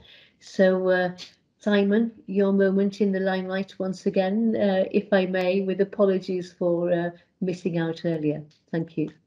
Uh, thank you, Chair, and uh, no problem at all. And and and and just to reflect, if I may, for for, for a moment on uh, on Chris's paper, um, I mentioned in our KPI paper that that we've just appointed a business support manager who's um, part of their role is going to be looking at what are some of the common themes and threads from internal audits work across the board. So linking in with Chris on that in terms of some of the themes that are being identified, are they replicated elsewhere? Obviously not if they're DHCW specific, but perhaps more widely, and and and there will be digital uh, and IT uh, um, you know themes coming up from other organisations too. Um, Chair, my my my paper at 3.4 is very brief. It it just sets out uh, first of all, the KPIs we currently use, recognizing those are part of the service level agreement uh, that we have and is updated uh, annually with board secretaries, and, and, and recognizing that that they're useful in terms of, of measuring that we're getting things uh, to you on time and that the relationship with, ma with management is effective uh, and so on. But we are very keen going forward to to do more work around the impact uh, of our work and recommendations. If we make recommendations and you accept them, then you know you are going to put in the effort to implement those. What's actually been the outcome and the results of that? So, so we're very much looking at um, uh, three things there. One around perhaps linking in with the audit tracker, uh, thinking around the percentage of recommendations that have been implemented, and what's been the impact of those recommendations? Has it strengthened governance, reduced risk, improved control, and so on? Uh, and that focus as well on the limited no assurance reports or high priority findings as they come in. Um, NWSSP itself is doing quite a lot of work around its customer engagement and measuring of quality. So we'll we'll dovetail with that as well in terms of a one NWSSP uh, approach. And then, uh, Chair, you've received um, a number of reports to this committee during the course of the year. Uh, where we have already identified common themes and issues and put together the results of work that we've done from that um, uh, IT baseline assessment through Welsh language measures to a number of estates compliance issues. So looking to do more of that work uh, to really, you know, if you like, share more of the good practice and common findings uh, across the board. Um, so Chair, that's that's all I wanted to say on that paper, um, but just to give you a flavour of some of the things we are looking to do, and I'll be very happy to bring back, you know, progress on that during the course of the uh, of, of, of the year and beyond. Thank you, Simon. Um, that's a, a really helpful up update, actually, and we will certainly be looking forward to uh, receiving updates in due course. Uh, I, I, can see that uh, Claire would like to come in. Claire? Yeah, I thought it was really great, Simon. I like the I like the you know if you looked at your current KPIs, it's really um, trying to measure efficiency in yes. terms of the time it takes, and and and what you're trying to really now look at is is effectiveness. Yes. And I think that that bringing that together will be really um, helpful, um, uh, but difficult to do, I would imagine. Yeah. Um, so yeah, I, I welcome it and and look forward to uh, making sure it looks good. Actually. Thanks, Claire. Yeah, Claire. Chris? Yeah, I, I agree with that. I, I, welcome this. And I think the proposed um, metrics going forward, what do our clients think of us, is really important. Because I guess for the record, the um, our first year, you know, we've established and it's been challenging and we've had good critical friend support, if you like, from internal audit throughout our first year, which has been really important for us to get an external perspective and you know sharing some good practice testing ideas similarly for audit Wales. So I think that metric in particular is important. Thank you, Chris. So um, very much welcome the approach that you've taken in uh, the uh, KPI overview and uh, uh, we note uh, the uh, report and look forward to seeing it progressing. we've talked about collaboration um, and working together. We talked about values uh, and um, certainly this is an opportunity to bring together some of those themes and the learning from work that you will be doing both internally and externally to DHCW. So um, diolch yn fawr iawn, Simon. Thank you and your team. So we'll uh, resume the agenda with uh, item 3.8, if I may. And this is the uh, audit tracker, the action uh, um, which uh, Julie Ash, our Head of Corporate Services, uh, will uh, present an update to the committee. Julie. Thank, thank you, Chair. Uh, good morning, everybody. So this is our regular report that we receive that enables us to track um, the audit recommendations received from both Audit Wales and our internal audit uh, colleagues from shared services. So um, positive report, I'm pleased to say, again, uh, for this meeting. So at the last meeting, we actually reviewed 23 actions and we were able to close 17 of them, which left us with a total of six open actions.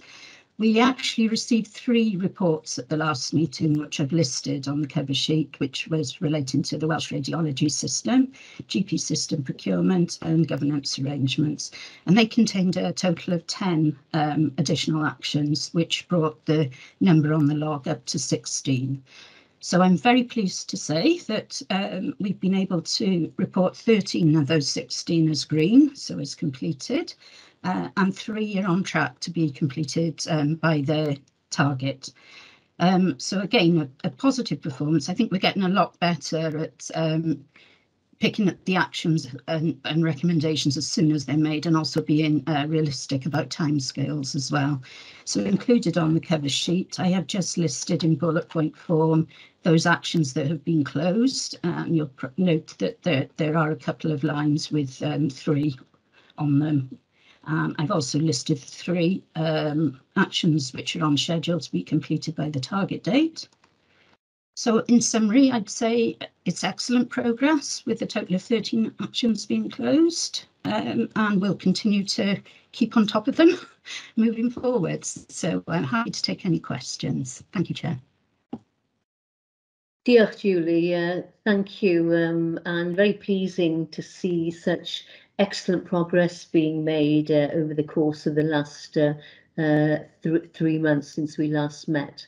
Uh, so uh, 13 of the 16 uh, actions there are, are, are in green and the vast majority, 13 actions closed. so thank you. Um, are there any questions, any comments to Julie? No, we're very pleased with the progress that's been made, Julie. So um, we uh, note the status of the tracker and uh, look forward to seeing uh, the uh, very positive progress being extended over the coming months as well as uh, more recommendations uh, arise from our audits. Diolch yn fawr. Thank you, Chair. So we'll move on to uh, agenda item 3.5 then, which is the local counter fraud update report. And it's my pleasure now to welcome Gareth Lavington to the committee. Um, and Gareth's going to provide uh, an update on the counter fraud work since uh, our last meeting uh, for the uh, uh, quarter ending uh, March 31st. you're very welcome, Gareth. Chris Thank you. Thank you, Chair. And good morning to everybody and pleased to meet you all. Um, this is going to be a brief report. Uh, I'm sure you've all seen the report that Nigel has kindly provided with regards to the period from the 1st of January to the 31st of March. There isn't a great deal to update upon it. Um, ultimately, I'm pleased to say that there have been no investigations incepted during that period, which uh, I think is a positive. Um, there have been fraud awareness presentations taking place. I'm I've I've been unable to chase Nigel on whether those took place between the 1st of January and the 31st of March, but I'm aware that only two were undertaken last year for 32 staff members. Um, and I, I, am aware that, as Nigel has reported here, that the um, there are attempts ongoing in order to carry out um, presentations with regards to locally identified risk, if you like, with regards to mandate fraud. Um, and I think key coming from what's been spoken about earlier in this meeting, things to do with pre-employment checks, which is something that we would sort of get involved in as a counter fraud team moving forward. One thing of note, um, or two things of note actually. One is that I'm pleased to say that the team is now up to full strength. So moving forward for the forthcoming year, we have myself as the counter fraud manager. We have Henry, who's just started as a new investigator with us. So there is myself and three others. So we're up to speed. Um, and hopefully we will be able to um, commit to a full provision in the coming year. It is worth noting that um, having completed the draft annual report in recent weeks, that the provision for the year has only been 29 days of the 40 days um, that was planned for. That's down to um, understaffing essentially, and hopefully we'll um, bring up that shortfall in, in the coming year.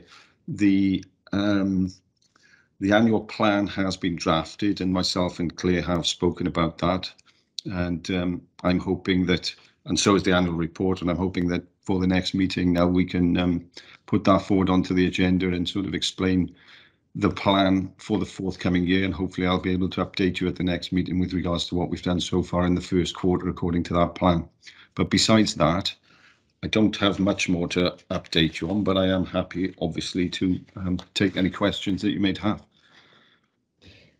Diolch Gareth, thank you, and uh, pleasing to hear that you are now at uh, uh, full capacity going forward, which was one of our concerns uh, expressed at uh, recent meetings. Yeah. Um, so I can see a number of hands up. I'll turn to uh, Ruth Glazzard first of all, followed by uh, Claire and then Mark Cox. Uh, thank you, Marion. Thank you, Gareth, for that for that update. Um, I mean, obviously, you know, we understand that you've been hit in terms of resource over the over over the over the last year. Um, so my question would be: now you're back up to full speed. Is there anything more that we can do, or that you need from us to get the education and presentation piece on the go? Um, or it, are you are you happy with the with the engagement that we've we've had so far, or or do we need to similarly, you know, increase our engagement now that you're back up to full strength? It is it is very much um, a point of engagement, really, Ruth. To be honest, I'm I'm putting together a full infrastructure of what I would expect from my team to deliver to DHCW with regards to um, awareness sessions, presentations, which are bespoke to the organisation. That uh, you know, because obviously we we provide this service to a number of organisations, and the presentations, for example, might not be the same for each. Um, and I'm also keen um, to gain a level of understanding from the organisation as to what their sort of inherent risks are, because this organisation is new to myself, and it's it's it's a new organisation as far as I'm aware, only being um, in existence for the last year. So moving forward, really, for me, certainly in the first quarter, is all about engaging with key contacts from the organisation to gain a greater understanding of where we go with those things and improving reporting routes from staff and um, yeah, understanding the risks and, and taking the necessary action with that. So obviously getting together with um, some of the internal audit guys that have re been reporting here today would be one of those things as an example, if you like. Brilliant, thank you. And uh, you know, I always want to see more time spent on education than on investigation, right? That's where we need to. That's where we need to continue to be. Well, so uh, yeah, absolutely. And and it, it's it's it's a, it's been a huge challenge, obviously, through COVID because that has just dropped off the radar for most organisations, I think, and and that really is key for me is to get that up and running, whether it be well, and and to find the right route for it, really, you know, whether it is sort of virtual lunch and learn sessions that people can dip in and out of, or um, things along those lines, really, and that's that's where my contact with yourselves comes uh, is key, really. Yeah. Diolch Gareth. So uh, engagement is keen. I can see that Claire is keen to engage with you at Yeah. this precise moment. So Claire. Yes, thank you. And Gareth and I have met and gone through the plan for the next year, and I think it's it's how do we how do we align our resources to support the delivery of that plan and that that incentive. But I think we're both keen to identify any risks, but equally really raise the profile of of um, of uh, counter fraud um, through our counter fraud champion as well. So it's really about introducing our our uh, champions within uh, DHCW and then working through that plan, um, which um, which we will.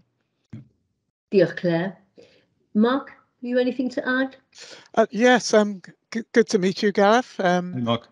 Yes, and, and it's heartening to hear you're, you're up to speed in terms of resources, and um, you know I look forward to um, dealing with you going forward. I think in terms of mandate fraud, we had a an extraordinarily large list. I think when we discussed with Nigel around um, putting that particular session on, and we were going to do it over two or three sessions. Yeah. Um, I, I I think reflecting on that, um, there are a cohort of staff. I'd say definitely need to be um, to be engaged with, and a, a second cohort of staff which awareness would be suitable for. So, in terms of your plan going forward, I you know I'd love to engage with you in terms of your Yeah. thoughts on that. Yeah, absolutely. I, I was aware that Nigel had been in touch with you, Mark, and um, I, I'm coming to you this week with um, a list of my demands, if you like. But uh, so hopefully, moving forward, yeah, we we can work together with regards to how best to get that out there, because obviously a mandate fraud can sort of eclipse um, 25 other frauds in in one fell swoop. So Exactly. it's quite an important issue. Yeah. Thank you, Gareth. Thank you. Thank you, Gareth. And, and finally, Ruth, um, It was just it was just a quick question. I hesitate to ask it because frequently when I ask these questions, the answer is, "Oh well, it's you, Ruth." But who is our counter fraud champion? that's a good question. So, Right. so from from a internal DHCW perspective, Rachel Powell was our uh, counter fraud champion. Mhm. Thank you for the clarity of, uh, uh, uh, of that. So um, really helpful discussion. And uh, Gareth, I think you can see from the observations and contributions around the table that DHCW is very keen to uh, build on the engagement that's happened to date. And um, clearly there have been uh, ongoing discussions about the nature of the plan for the future. And we look forward as a committee to receiving uh, that uh, more detailed plan uh, at our next formal committee meeting in July. Uh, Yeah. We wish you well with the, the work in your new role as well. Diolch yn fawr. Thank you very much. Cheers. Um, that, I think, brings us conveniently to the end of our, well, the first part of uh, this morning's committee. It's just gone 10.45. Um, I suggest, therefore, that we take a full 15-minute break and come back to the table at five past 11, if that's all right. Diolch. Thank you for your observations and contributions, and we'll see you uh, in just over 15 minutes' time at five past 11. Diolch. Good, according to my watch, it is uh, five past 11, so I suggest that uh, we reconvene our meeting. I think we're all back. And um, part four of our, our agenda this morning deals uh, uh, with governance activities and uh, the reports uh, for the next items will be presented by colleagues from Digital Health and Care Wales. Um, so uh, the uh, next agenda item is in fact 4.1, uh, which is the annual accounts update. And I'd like to uh, invite uh, our Director of Finance, Claire Osmundsen Little, to present the update on the annual accounts. Uh, Claire. Thank you, uh, Chair. And I'm going to hand the floor to Mark Cox, who's going to take us uh, through the current position and of where we are and our timescale going forward. Uh, Mark. Thank you, Claire, and thank you, Marion. Um, must be said that a, lo- a lot of the update has been um, previously addressed by Mike, and uh, I guess just in in addition to that is just to reflect on some of the activities that have taken place um, since this report was published, and uh, also the um, the actions that need to take place over the next few weeks. Um, I'd, I'd like to bring your attention to um, page two of the report, and particularly um, section 1.5 Uh, 1.5 indicates the external reporting deadlines for the organisation. Uh, the first um, uh, deadline refle reflected the day five financial performance submission, which was submitted to Welsh Government. And item two were the full monthly monitor returns, which is the performance reports um, identifying um, the organisation, DHCW, had met its statutory reporting requirements in terms of um, break-even position in revenue and break-even position in capital. So that's a fantastic set of um, currently unaudit, unaudited um, results for the organisation. We've also, as Mike uh, mentioned, submitted the draft accounts, which were uh, submitted on time at 12 o'clock on Friday. So there's been major amount of activity since this report was produced.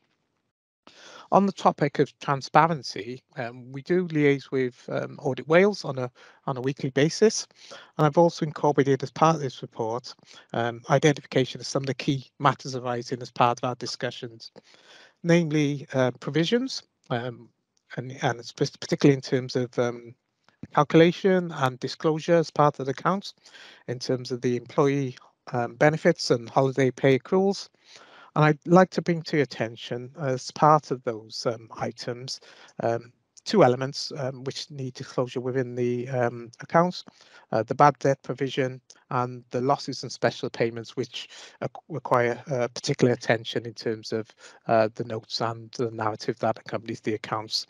Um, you will uh, in due course see a, a, a, section of the, the notes and um, be able to review those. Um, Mike also mentioned the IFRS 16 disclosure, and that again is part of our general discussions with uh, with Audit Wales. So in effect, this report is just to update uh, the committee on the progress and to assure the committee that uh, uh the delivery of the accounts is very much in hand. Thank you, Chair.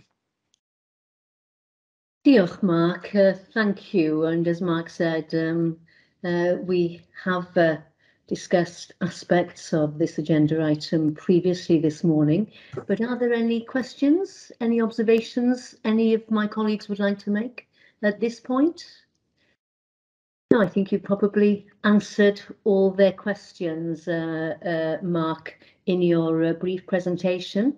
So if there aren't any further observations then, um, I assume that we are happy to note the annual accounts update and thank you for your update, Mark, and your work on the annual accounts again. So we'll move on to um, the uh, next agenda item, which is risk management, uh, which of course includes the corporate risk register.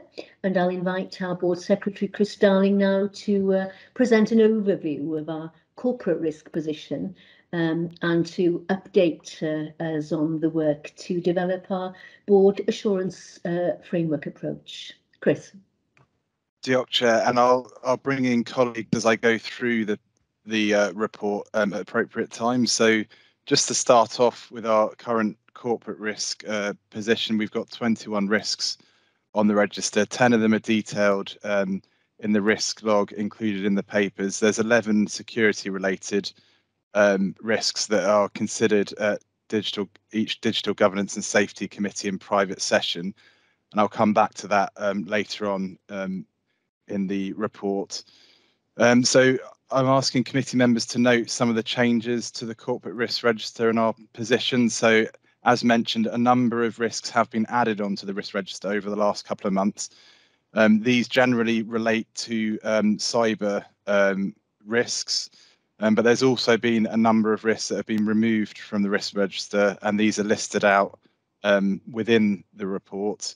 Uh, their region for closure or being downgraded to being re reviewed at directorate level.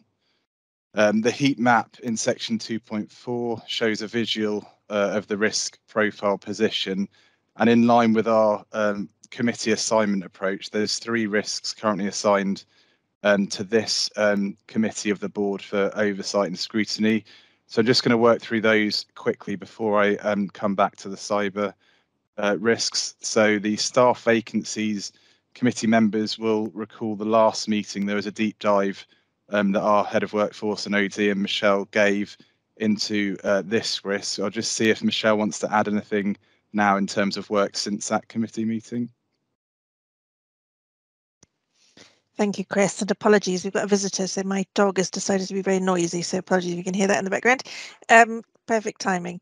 So uh, yes, I mean we have we are keeping this risk under regular review. As Chris said, we had done a bit of an update. We've been doing a reflections on the last 12 months from our recruitment task force, um, and there have been some very um, aspects of that that have been very effective, I think, and we've seen quite a significant uh, number of new people joining the organisation, which is good. I think what we have done, and we discussed it also at the management board um, uh, toward the end of last month was look at okay what are the steps we need to take going forward now um, and how do we want to reposition the work of that group perhaps to focus on other areas uh, so as part of that, um, uh, Julie actually in commercial services and her team have developed a commercial resourcing strategy that we'll be working through with the team now. And we're looking, as I say, at particular areas of focus for the recruitment group. I suspect what will happen is that we will disband that task force and probably stand up a slightly different group, um, more of a, a, sort of finance uh, workforce commercial uh, joint uh, working group so that we can look at all aspects of resourcing and capacity um, as well as just recruitment. So that's certainly in the plan uh, as we move forward now into this year. Um, and obviously we've got some really good work that Workforce Business Partners have been leading in terms of the workforce plans and the capacity requirements. Uh, so I think it's just about the most appropriate way to address those now as we move forward. Thank you, Thanks. Michelle. Chris? Thanks. Yeah, thanks, Michelle. The um, the next risk that's assigned to this committee is the Welsh language compliance. So this risk remains unchanged. Um, our Welsh language uh, services manager came into post um, earlier this year and has done a lot of work, one of which has been to review the standards um, and our compliance against them. And the next agenda item, I'll come on to talk through some of that, but the assessment um, from Aleri has been to keep that as unchanged. There are a number of standards we're not complying with, which we'll we'll go through in the next agenda item. And there's also a significant number that we are, and we're work. We've got an action plan to work against each of those.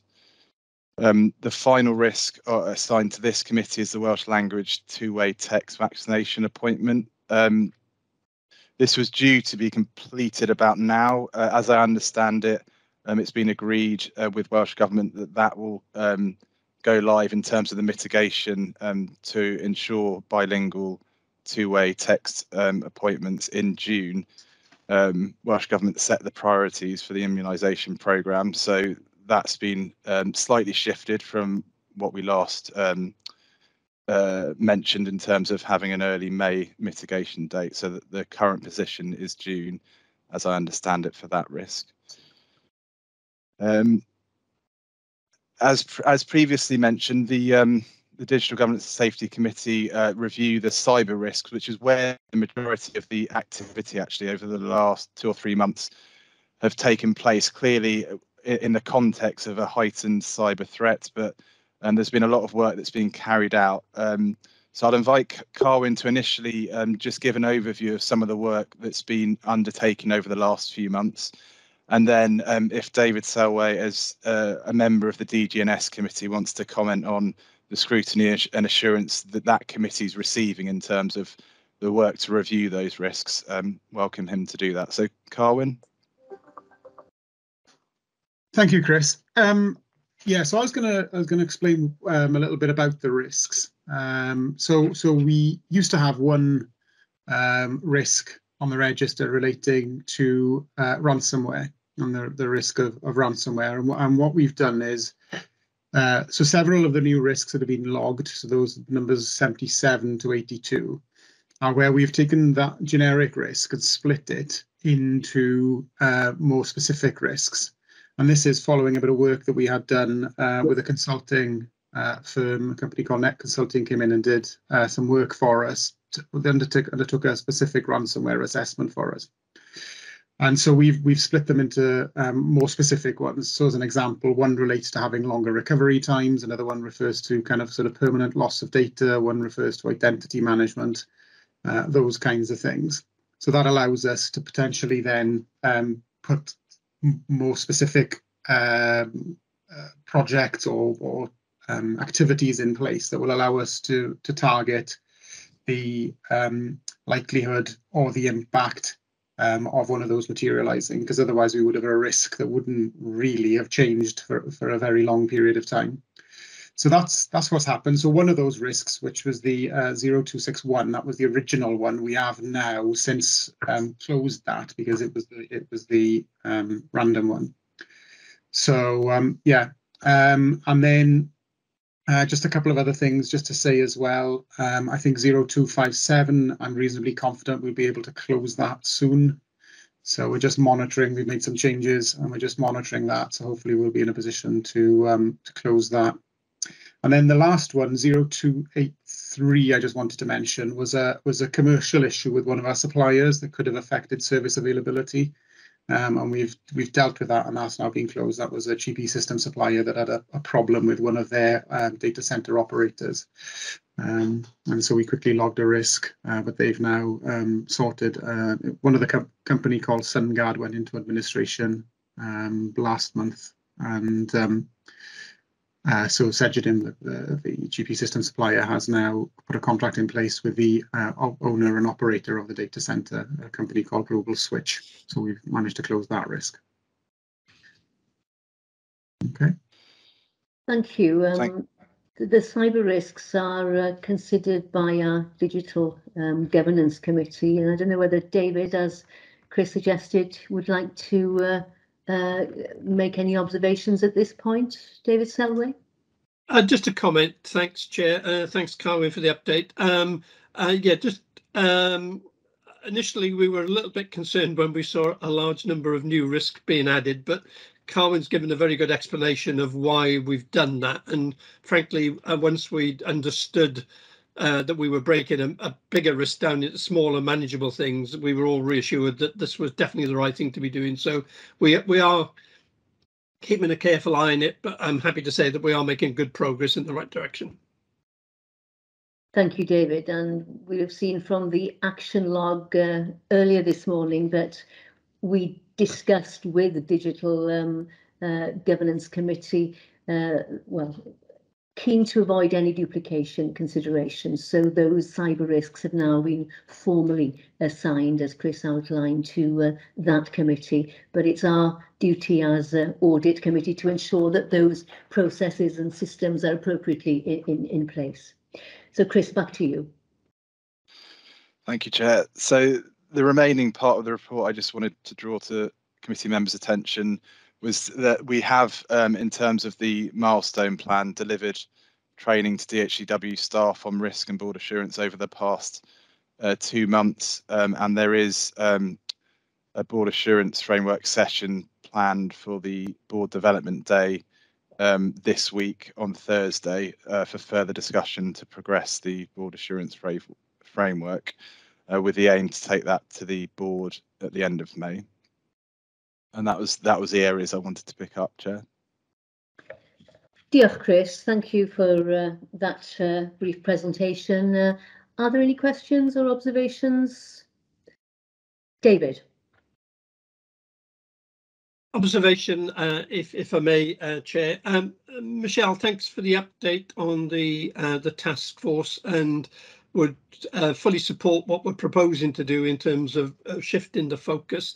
You, you, may have covered this, but I, I just seek some clarification. So one of the things um, we may consider doing um, is to put more focus on an internal staff development program and, and try to grow train people into the skills that we need if we're struggling to recruit. So it may have been covered in what you said, but if it's not, it, could I suggest that we maybe take it into consideration?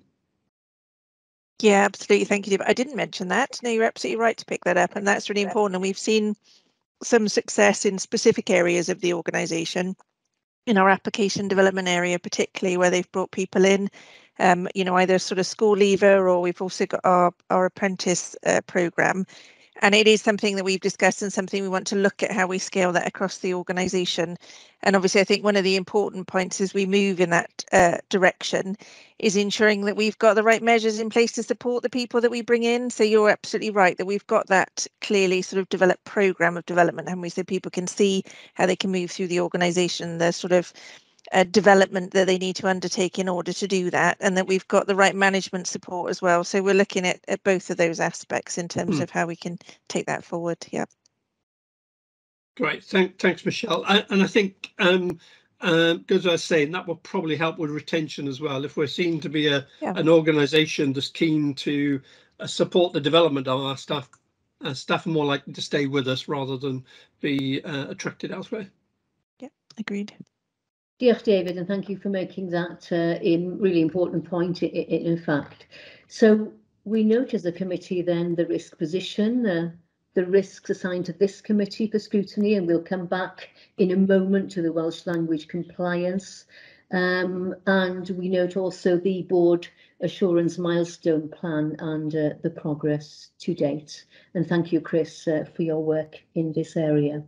So let's turn then to agenda item 4.3 on the Welsh language compliance, which is one of the risks assigned to this committee. Uh, and as uh, Chris outlined, uh, we note the appointment, uh, the recent appointment of um, uh, Welsh Language Services Manager. So, uh, Chris, I'll hand over to you once again to uh, present the Welsh Language Compliance Report, which uh, updates us on uh, our current compliance on the Welsh language uh, standards. Diolch. Yeah, thanks, Marion. And I'm just going to start by giving a bit of context and background because I think this will be a, a standing item of, as we move forward. One that Eleri uh, will will come to the committee to present. Unfortunately, she wasn't able to make today's meeting. Um, but so just just starting with some background. So special health authorities are not currently named under the 2011 Welsh language measures. Um, however, um, as an organisation, we've continued to maintain compliance uh, and monitor against the standards. This took place previously in the predecessor organisation, NWIS, um, who were hosted by Velindre. So we were adhering to the Welsh language standards as they were issued to Velindre. Um, clearly, now as a statutory body in our own right, we are um, committed to being bilingual. And uh, when we um, established, um, one of the first things we did was start to develop uh, a Welsh language scheme. Um, a more context, I guess, is as as we established, we had to put in um, an estimation of um, Welsh language resource requirements as an organisation. It's probably fair to say um, that was an estimation. We've clearly um, grown during the first year and and developed a much better understanding of what those requirements are, both from a staffing perspective um, with Eleri now in post, but also importantly from a translation services perspective. Um, so during 2021-22, um, we had an SLA with shared services, uh, their Welsh language translation service. We more than double, um, sorry, we used more than double uh, that that we had down as part of the SLA.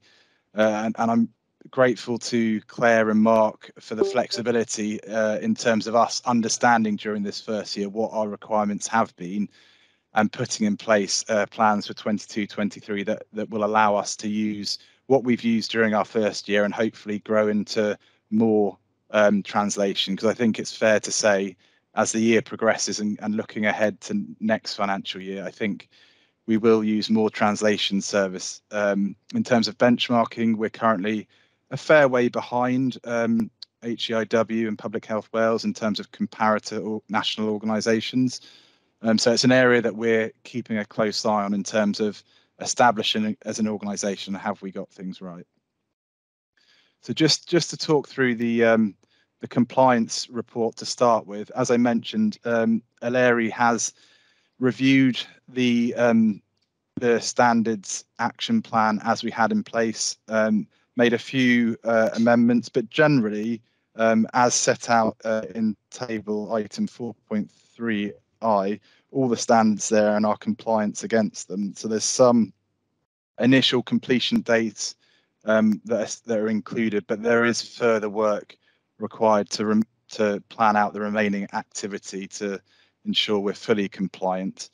Um, there's a number of standards that aren't applicable to us, uh, generally very much patient facing standards.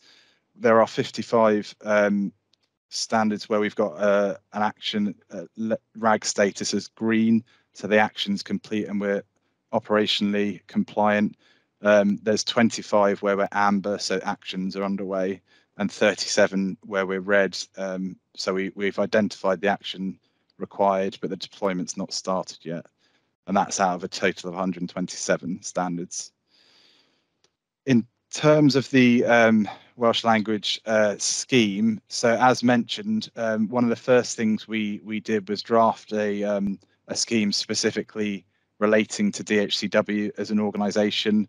Um, we've been liaising over the last 12 months with the Welsh Language Commissioner's Office to develop that scheme. A final draft now has been translated and submitted back to the Commissioner's Office for approval. Um, I'm not aware, before going on leave, it hadn't been approved. I'm not aware that it has been since coming back. Um, that was the third iteration that we'd shared with them.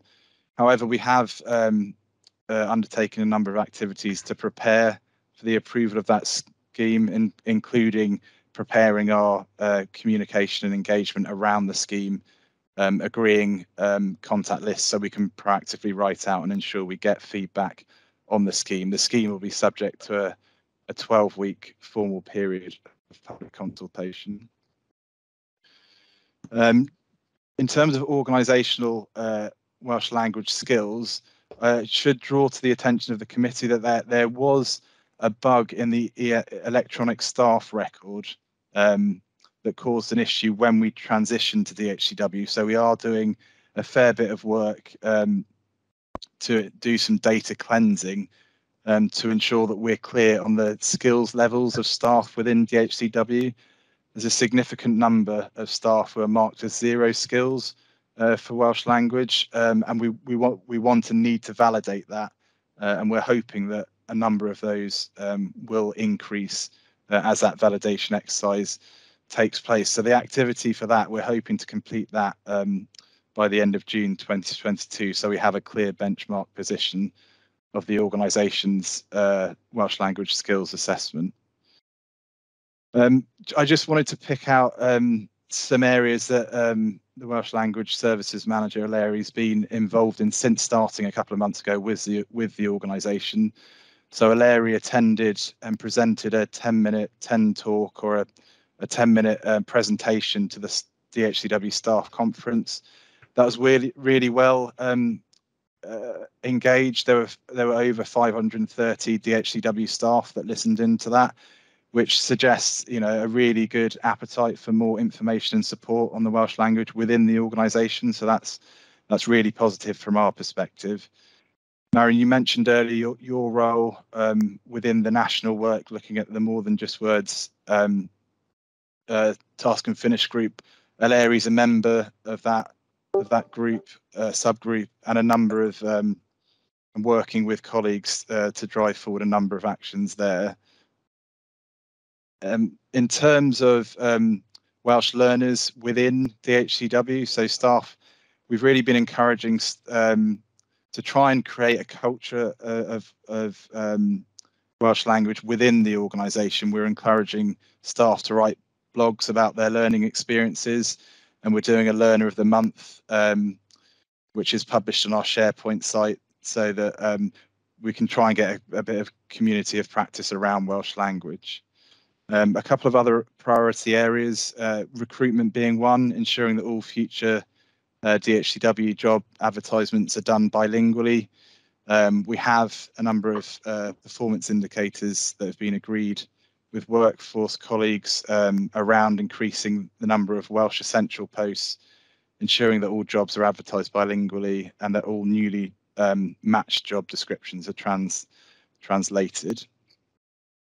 Um, in terms of this report, we will bring a standing item to this committee so that we can review the compliance, particularly against the standards.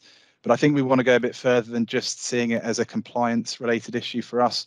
We are a national organisation, I think one that have real ambitions to be a, a leader in terms of a bilingual um, organisation. So we'd like to, to showcase some of the work that we're doing to promote the Welsh language um, moving forward.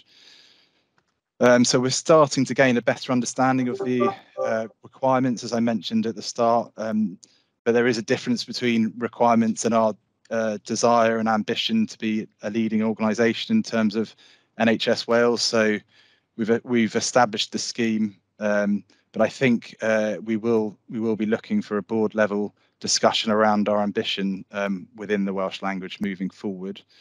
And in terms of work over the last uh, four, three or four months or so, I just want to thank Eleri for all the work she's done. Uh, she's really hit the ground running um, in this area. And before I conclude, man, I just uh, want to ask if if Carwyn wants to add anything. He's been vital and chaired the Welsh language group way before my time with DHCW. So. Um, I've got nothing specific to add, uh, Chris. It's just that we were previously working under the Velindre um, um, standards and you know uh, under the under the Welsh language measure. Um, so I think a lot of the things we've got um, controls in place already. It is now, uh, but obviously now that we've got a Eleri in place, we've got a lot more focus on it. And I think she's picking up on some of the things that we thought that we had sufficient controls being in place that she doesn't feel that they are. So um, uh, yeah, so I think it's good, and it's it's good that we're making progress on identifying places that we need to improve. Diolch Carwyn, um, uh, and I've been assigned the task of being board champion for the Welsh language in terms of the IM cohort. Um, and delighted to take that responsibility. Um, it's really pleasing actually to see the positive change that uh, Eleri has instigated within the organisation in just a very short period. Um, and um, I do sense there's been quite a positive sea change in the cultural tone and our approach to the Welsh language, which can only um, develop positively as the weeks and months go by. So um, really look forward to uh, uh, receiving the first formal report um, by, by Ileri um, and to get a better understanding of uh, the progress we can and should be making in, in this area. Felly gai yn ffurfiol uh, gofnodi yn diolch a'n gwerthfawrogiad uh, i Chris, um, i Carwyn, ond uh, yn fwyaf penodol i, i eleri am uh, roi'r uh, mesurau newydd yn ei lle. I was just putting on record formally our appreciation not only to Carwyn and Chris, but more specifically to Eleri as Welsh Language Services Manager for the positive steps that have been put in train in what is clearly a very brief period in post. Um, so we look forward to getting those uh, uh, quarterly updates uh, at our next committee meetings. So we are being asked to receive the report for assurance, which uh, we do. But I just wanted to check whether there were any further questions or observations before I bring this discussion to a close. So we move on to uh, agenda item 4.4, uh, the declarations of interest, gifts and hospitalities report. Uh, and I'll invite Chris back to uh, report on, uh, on uh, this agenda item. Diolch. Yorkshire, and we're required uh, as a committee to review this at each of our um, committee meetings. So just a few areas to update. All board members' declarations of interest were received and captured on the register for 21-22, um, as previously shared with the committee. The, the final register, um, which is included as 4.41, um, saw a compliance rate of 87% for Band 8As and above uh, for last financial year, our first financial year um, operating as an organisation. Um, so that's that's good. We you know we hope to do better this year. Um, so 4.4 II now we're into 22-23 is the new register uh, as it as it was at the 10th of April when we took the cut, um, which again focuses uh, initially on band 8A and above. Um, but we hope to um, to see all staff or as many staff as possible complete their declarations of interest this financial year. Um, we've done a fair bit of work to promote the standards of behaviour policy, um, declarations of interest, gifts and hospitality um, across the organisation. This was discussed at the last committee meeting uh, and it is a standing item on the DHCW corporate induction now. So all new staff coming into the organisation are aware um, of their of the requirements. Uh, I'm asking the committee to note um, a number of things as well. So four declarations for gifts and hospitality. So um, in terms of hospitality, there's three noted. I'm aware Uh, there might be one or two others that um, could and should be on that register, so we'll need to come uh, to the next audit committee retrospectively. Um, and I also want to just bring to the attention there's one gift included for a value of £56.49 which was initially accepted uh, and subsequently um, declined um, due to it being um, the, the, the value of the gift. Um, so that one, I'd like that reflected in the minutes if that's okay. Um, so it's just for I'm just asking the committee to note the hospitality and gifts received or declined during the period since the last meeting. Diolch, Chris. Um, Ruth.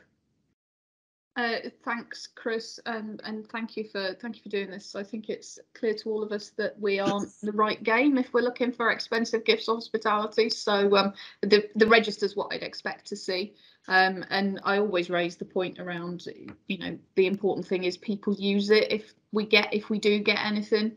Um, and it feels like if we do get anything, it's so unusual that people declare it anyway. So we don't have a culture of taking stuff and and uh, and and not declaring it because it's not usual for us in our in our sector probably in the in, in our staff to get those things. So uh, thank you for thank you for bringing this along for us. Diolch Ruth, um, and I'll uh, second that uh, uh, appreciation. Um, there's clearly been a lot of work since uh, uh, we last received a report uh, at committee, um, and um, clearly we've reached the declaration rate of 87% for band 8A and above. I think as a committee, I think I can safely say we would hope to see that edging much more closely to the 100% mark over the coming year. Um, and um, we'll be uh, uh, looking forward with interest to see uh, that improvement. So the committee is being asked to note um, the work to populate the declarations of interest register and note um, with the specific amendment uh, highlighted by uh, the board secretary there, we note the declarations of gifts hospitality sponsorship and honorary declarations uh, up to uh, the end of March 22. We're happy to do that. Thank you. So uh, we'll move on then to uh, agenda item 4.5, which is the high value purchase order and cumulative report. And I'll invite uh, uh, Mark Cox, the Deputy Director of Finance, to prevent the high value purchase order report, which uh, we as a committee are being asked to uh, note. Mike. Thank you, Chair. And uh, as you mentioned, uh, this um, this report presents uh, the high value items um, ordered over the period, and this period covers uh, January the 19th to the end of the financial year, the 31st of March. not only does it identify um, singular high value items, so orders um, over the 750k threshold, but it also identifies where cumulative supplier amounts have exceeded that amount. And that's fundamentally for transparency to the audit committee. So during that period, um, we've actually uh, transacted five orders over the 750k threshold. Um, one being the GP systems maintenance support in terms of the HP um, managed print service. This service um, supplies um, support to 7,500 devices across 388 practices across NHS Wales. So it's a key service that's supplied across um, organisations and GP surgeries, and that was completed during that period. There was also a supplementary item in terms of the GP systems maintenance contract, and, and that's in terms of the support and maintenance agreements, which was transacted again um, since January 19th. Other items into, include um, the Kainos software software support, and that indicates um, delivery of work packages um, in support of the digital services and, and patients and um, um, digital systems, patients and uh, excuse me, let's just get this right. The DSPP program, which is supported by the DPIF program. Um, in terms of the work packages, um, they delivered uh, the um, discovery phases and inheriting both those work, work packages and supplied um, the development resource in terms of uh, not only the um, proof of concept, but also uh, NHS Digital um, for access of NHS apps support as well. The last item is reflective of the Microsoft agreements with um, uh, the Microsoft developers to support the Test, Trace and Protect program um, in terms of the COVID response. In terms of the um, cumulative supplier elements which have um, um breached the 750k threshold, um, you'll see um, from table two, one of those items being the ongoing lease of vehicles for staff within the organisation. these items are um, deducted from staff payroll, so there's no cost to the organisation. And uh, one thing I'd like to bring to your attention is in terms of the the actual staff lease um, uh, cars uh, in terms of the, the, the final quarter of the year, there's been major shift towards electric vehicles. Uh, I think it'll be interesting to pick up in terms of the shift from either hybrid um, cars or petrol-based cars and what that's doing for our environment and how we're actually promoting that within the organisation. A supplementary item um, I'd like to bring to your attention is reference B14, and that's related to the PSPA um, uh, implementations at North Wales in terms of GP surgeries. And this is going to be the last item this financial year, and uh, that will no longer progress into next financial year. So with that, um, Chair, I'd like to submit the report to notes and uh, happy to take questions. Diolch, Mark. Uh, thank you. Um, so uh, that gives you the update uh, with regard to high value purchase orders over three quarters of a million pounds raised and issued over the uh, last period. Um, I've got uh, a couple of questions. Well, Ruth, to begin with, um, do you have a question? Uh, Diolch, Marion. It's a it's a comment rather than a question. I, I I'm I you know I'm keen on the cumulative picture. I think what's interesting about the cumulative picture is how much that actually adds up to.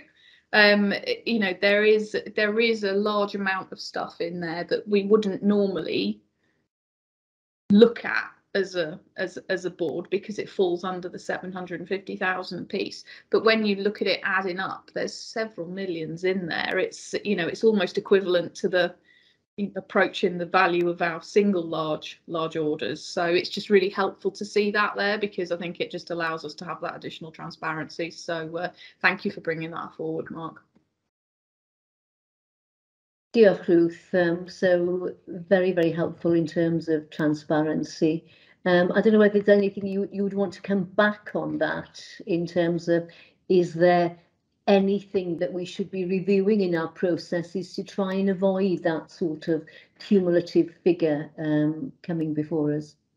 I, I think an interesting exercise at the end of the year would be to review that and to, to, to, to evaluate whether we could go out to procurement for you know with, with that in mind or you know if there's any particular trends there's there's possible the likelihood of economic gains in terms of um, going out to procurement for that amount in the first place.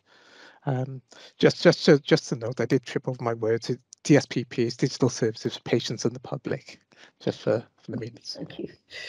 Um, I can see that, uh, thank you, Mark, and thank you for that clarity. Um, I can see that Michelle, our Chief Operating Officer, um, wants to come in on that last point, presumably, Michelle. Yeah, yeah thank, thank you, Chair.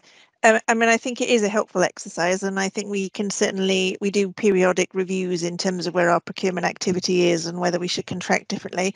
I'd have to say, looking at the list, the majority of those were reported to the board. They're actually call-offs of significant level agreements. So hopefully, colleagues uh, will recognise some of those. Uh, for example, uh, GP, etc., would have been through the board process because of the the sheer uh, volume of them, but they're in effect frameworks, aren't they? And we're we're recognising here the call offs against those frameworks. But I'm eh, you know happy to take that, and I'm sure Julie uh, will continue to do that with the procurement team as well to look at patterns and trends uh, and identify any uh, different contracting opportunities. Really, yeah. Thank you. Yeah, Michelle, and uh, I think uh, that certainly would be worth uh, looking at. So we leave that with you to take forward uh, as a, a, potential action for consideration then. Diolch yn fawr. So um, we uh, um, we uh, have been asked to note the details of those procurements reported since the last audit committee, which we have done. Which brings us nicely then to agenda item 4.6 and uh, the losses and special payments update. And again, uh, I'll hand over to Mark Cox, if I may. Mark. Thank you, Chair. And uh, this is the first um, instance of, uh, of us bringing uh, a report to you um, regarding losses and special payments. And we'd like to present uh, two items um, totaling uh, 1.173 million. Uh, these items have been duly recorded and reported via the LastPass system and reflect um, legal advice and the appropriate governance and decisions in order to make these payments. Um, in terms of item 5C, um, the other compensation payments made under legal obligation. This was made in uh, under the direction of Welsh Government and was duly supported by the appropriate funding. Um, so in terms of our end of year position, there's nil impact on our performance for the financial year. Um, they are very high level in terms of the, the presentation, um, but I'm happy to take questions uh, or respond in the private section. Diolch, Mark. Uh, are there any questions uh, at all on any aspect of uh, this particular agenda item on the losses and special payments update? Ruth. Uh, Diolch, um, thank you for the thank you for the update. I think I would just say it's helpful to have this come forward to to audit board so that we can gain assurance as a as a committee that uh, you know the processes are correctly in place for payments of this sort to be made. And you would expect, I think, you know, perhaps we've made this comment before, you would expect in the commercial world to see these types of payments as a course in the course of doing business. Um, so, you know, thank you to the team for bringing that bringing that forward to us. I don't think there's anything here that we wouldn't expect to see in the in the course of us doing our business. So, uh, thank you for that. Thank you. Yeah, Ruth, um, and uh, I, I certainly second that. Uh, these are the kind of payments which are routinely uh, occurring in other organisations, but uh, it's important that they're brought to the audit committee for complete transparency. So thank you, Mark, for bringing that update report to the committee. Um, so we note the details of losses and special payments for um, the, the last uh, financial year. Diolch We've uh, we've talked about procurement um, previously this morning, and uh, we now come to our procurement and scheme of delegation compliance report, uh, agenda item 4.7. And uh, I will now hand over to uh, our Head of Commercial Services, Julie Francis, who will provide uh, the update uh, with regard to procurement activity uh, undertaken during the last quarter of the last financial year. Julie. Thanks very much, Chair. So the committee is required to note today um, the single tender and single quotation activity and change notes during the period. There have been three STAs and six change notes to the value of 2.735 million. Ruth, you'll be very pleased to know, picking up on your earlier point, that this is a reduction in the number of STAs since the last report in January. It was five that um, in the January report. Um, all submissions are first ones, which is positive to note. And the STAs and change notes all cover a range of activity to keep the operational services going and for professional and workforce accreditation. Um, with regards to those STAs, they've all been executed in accordance with Standing Financial Instruction Section 12 and the Public Contracts Regulation 32.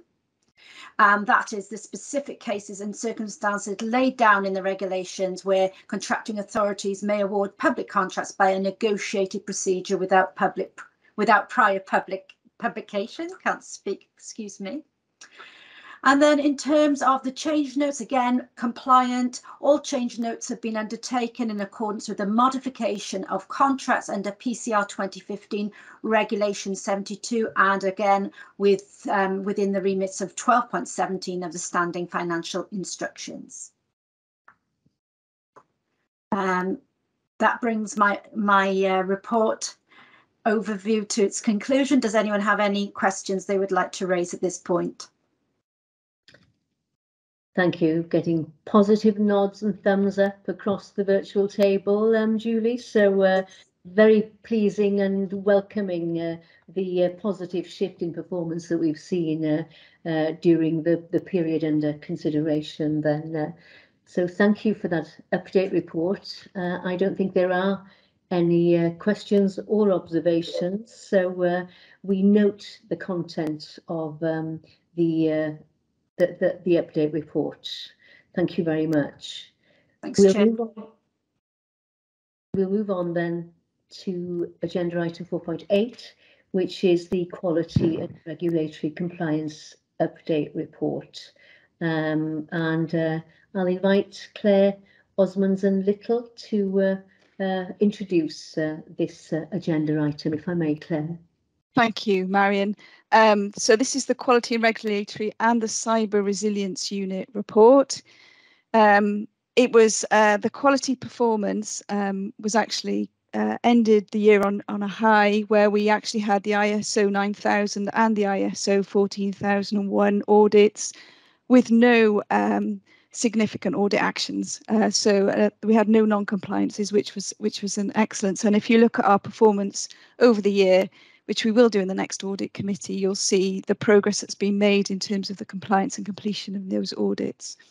We actually we also finalised our IMTP plan um, and we've brought it to life uh, to uh, really look at the implementation of that across the organisation for the next 12 months, including uh, the adoption of our iPassport, which is our quality management system, uh, and also our quality portal, which is our landing page uh, which really helps to direct and focus um, the the uh, quality actions and uh, quality papers that we've got. Uh, this was the first month that we've undertaken our quality management monthly report uh, for the quality and regulatory group. Uh, this was something that was developed by the team. Um, and we've also continued our work on the medical devices compliance work. In terms of the Cyber Resilience Unit, uh, I'm happy to report that their annual plan was presented to the directors of Digital Peer Group, uh, which um, validated uh, the approach and subsequently was signed off by Welsh Government and then circulated to chief execs. Um, and again, they've undertaken audits on behalf of Welsh Government during during the quarter and reported the outcomes of those to the relevant health boards and trusts. So the outlook for quarter one, um, it starts tomorrow actually. We have the ISO 27001 re-audit uh, for security uh, uh, management. Um, so that will that will start in haste uh, tomorrow. And we've also got the ISO 9001 and a surveillance audit for the ISO 14001 coming up. We've also, uh, as part of our plan, uh, initiated a risk-based internal audit program. And again, the training and development of that is progressing well. Um, and also we'll be focusing on the evidence, the review of evidence for the legislation uh, register, which is part of the IMB group. So to summarise, it's been a strong performance from the quality team. Um, we've got, uh, we're really focusing on bed, embedding quality within the directorates through our new reports and our audit approach. Um, we have also, um, as you saw from the reduction in the risk register, uh, the document management system is starting to develop in pace and will be underpinned uh, by iPassport. And finally, I'd like to welcome uh, Paul Evans, who has kindly uh, agreed to step up uh, for the next six months to support the quality and assurance team um, following Conrad's uh, sad passing. And equally, I will oversee the cyber resilience unit until we have uh, alternative arrangements in place. So I'm happy to take any questions. Diolch Claire, thank you for that uh, comprehensive uh, highlight update and um, really pleasing to note that strong performance embedding quality in, in all uh, that we do. And um, I'm sure on behalf of the committee, I'd like to uh, wish uh, Paul Evans well in his new role. And no doubt we'll be seeing Paul at this committee uh, again at future meetings. So we wish you well. Um, I can't see any hands up, so I assume that Uh, you have provided uh, sufficient detail and clarity, Claire, in your uh, presentation. So uh, we note the content of your update report and particularly welcome uh, the uh, positive performance that we've seen during this last period. Diolch yn fawr iawn. So we'll move on then to um, agenda item 4.9, which is the baseline governance review action plan report. Now we've referred several times to the baseline governance review, which will lead to uh, the more formal structured uh, assessment, which we've heard about from our auditors during the course of the morning. And uh, uh You'll recall that uh, the baseline assessment was agreed as a foundation for the uh, more structured assessment that uh, we will be undertaking or, or, will be undertaken on our behalf uh, in this uh, forthcoming financial year. So uh, it's my pleasure now to invite our board secretary to present the baseline governance review action plan. Chris Darling. Thank you, Chair. And um, colleagues will note this is in uh, this section of the agenda, not the the audit section. For that reason, reason it wasn't a formal structured assessment. Um, however, we did we were provided with a number of opportunities for innovation and improvement. And as per the discussion at the last uh, Audit and Assurance Committee, we we did say we would track those through, um, and they've been taken to our management board on a monthly basis since that report was published and they come back here um, to for the committee to note some of the progress. They're not formal recommendations, as I say, but they are um, areas for consideration in terms of innovation and improvement. And I'll just pick out um, some of the key areas of progress. The the full um, action plan is uh, included as 4.9i, uh, along with all the updates for each of the areas um, of or each of the opportunities, I should say. Um, so the first point um, in terms of partnership work in the IM digital network has been established formally now. The first meeting took place at the end of January and the second meeting um, took place um, uh, at the end of April, so last week, I believe. Um, in terms of stakeholder engagement, the strategy has now been formally approved by the board uh, in January there's a supporting communication strategy being developed, uh, which will go to the board in the next couple of months. Um, as uh, committee members here will be um, acutely aware, we are now um, recording our committee meetings and publishing those recordings on the DHCW website to enhance uh, our openness and transparency in the way uh, we operate and do board business. Um, as part of that process, we've delivered some virtual etiquette uh, training uh, leading up to that. Um, the Digital Governance and Safety Committee um, is taking place uh, this month also, and that will be recorded and posted. Um, there is the IM vacancy, uh, which uh, was picked up on in the baseline governance review. That we're in the process now um, of appointing to that position the SIFT uh, takes place tomorrow, um, and interviews for that position, um, all being well, take place on the 7th of June. Um, and clearly, from the baseline governance review pers perspective, the recommendation was around considering um, skills gaps um, in the board uh, makeup and diversity of the board. So that will be taken into account through that process. So I think we're we're hopeful over the coming months that a number of these opportunities uh, we will close out and we'll bring back an update in uh, the July audit committee meeting so you can see some of the progress. We'll continue to track this um, and then we will revert back clearly um, once a structured assessment's been made to tracking it through the formal audit tracker. Happy to take questions. Diolch, Chris. That's uh, a really helpful update on where we are with uh, the actions. Um, I can't see any hands up, but if you, I think we've got uh, sufficient time. Um, one of the key actions you outlined there was the establishment of the IM Digital Network, and uh, you referred there, there's been uh, two meetings since that was established.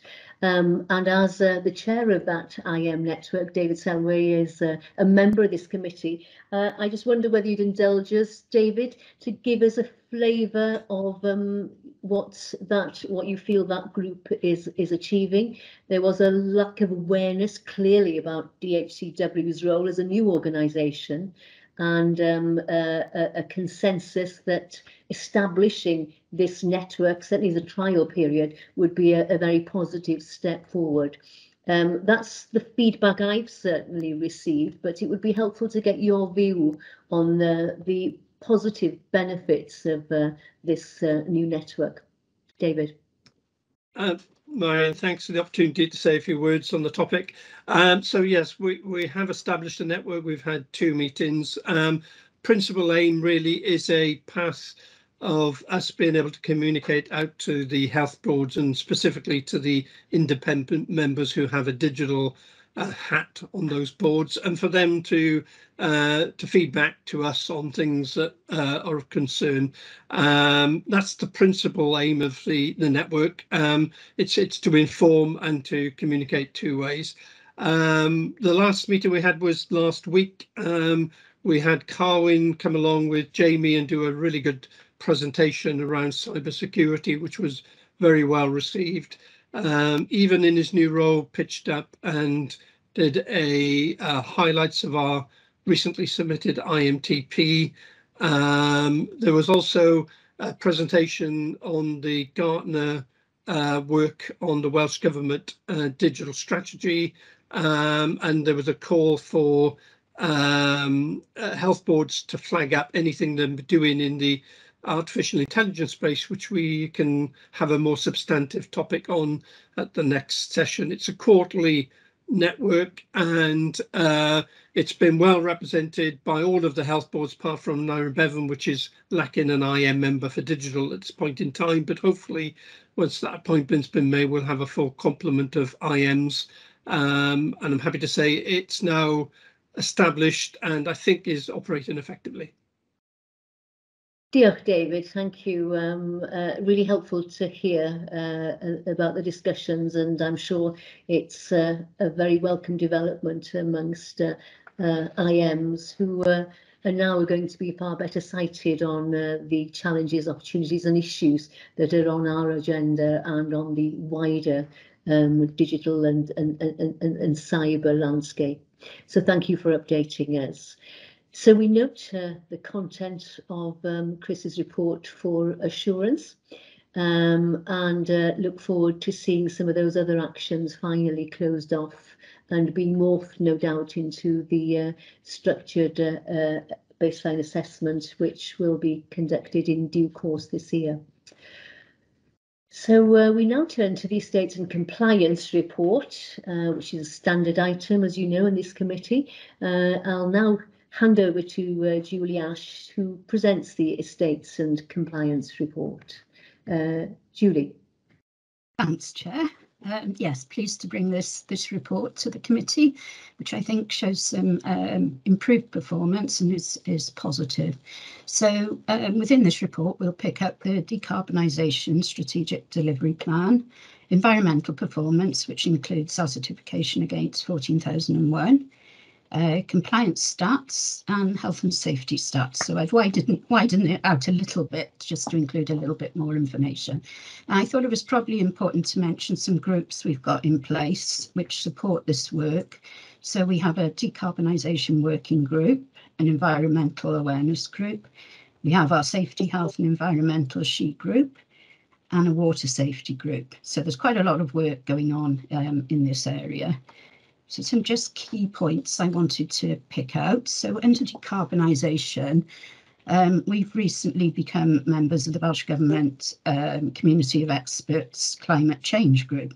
And under that umbrella, there is a project which is looking at approach to healthcare um, which picks up how digital is used to improve decarbonisation. So it's all very early days, but quite interesting. So um, I will be attending that project board going forward. So I hope to be able to bring feedback back to the committee on that one. Um, Okay, we're going to be working with, we've, we've got two types of emissions which we measure. There's our operational um, emissions, which relates to buildings and staff, and there's procurement emissions. So we're going to be working with um, shared services, procurement services, to develop a low carbon procurement strategy. Um, it's probably worth mentioning, and I think you'll probably be aware from previous presentations that procurement forms a large part of our emissions. Um, it's 87% last measured, so um, this is a key area of work for us to focus on. So I just wanted to show um, improvements um, since our baseline year of 2019-20 um, in our operational carbon footprint. So we're actually seeing an improvement of um, well, nearly 60%, which is it's good. So we'll continue to keep working in that area. Um, just moving on to environmental management, and Claire mentioned the successful ISO 14001 audit. So I just wanted to make the committee aware that we have actually held that certification since 2014. So um, we're quite uh, mature in that area, should I say, and we've got systems and data to support that. One other thing I wanted to mention um, in terms of environmental management was our um, good performance and waste management. We actually recycle, repurpose or reuse 99% uh, of our waste, which is good and well above target. Uh, I just wanted to mention states compliance um, stats. So this is testing of our plant systems and equipment. So we're currently at 93%, which is above our target of 90%. So again, positive.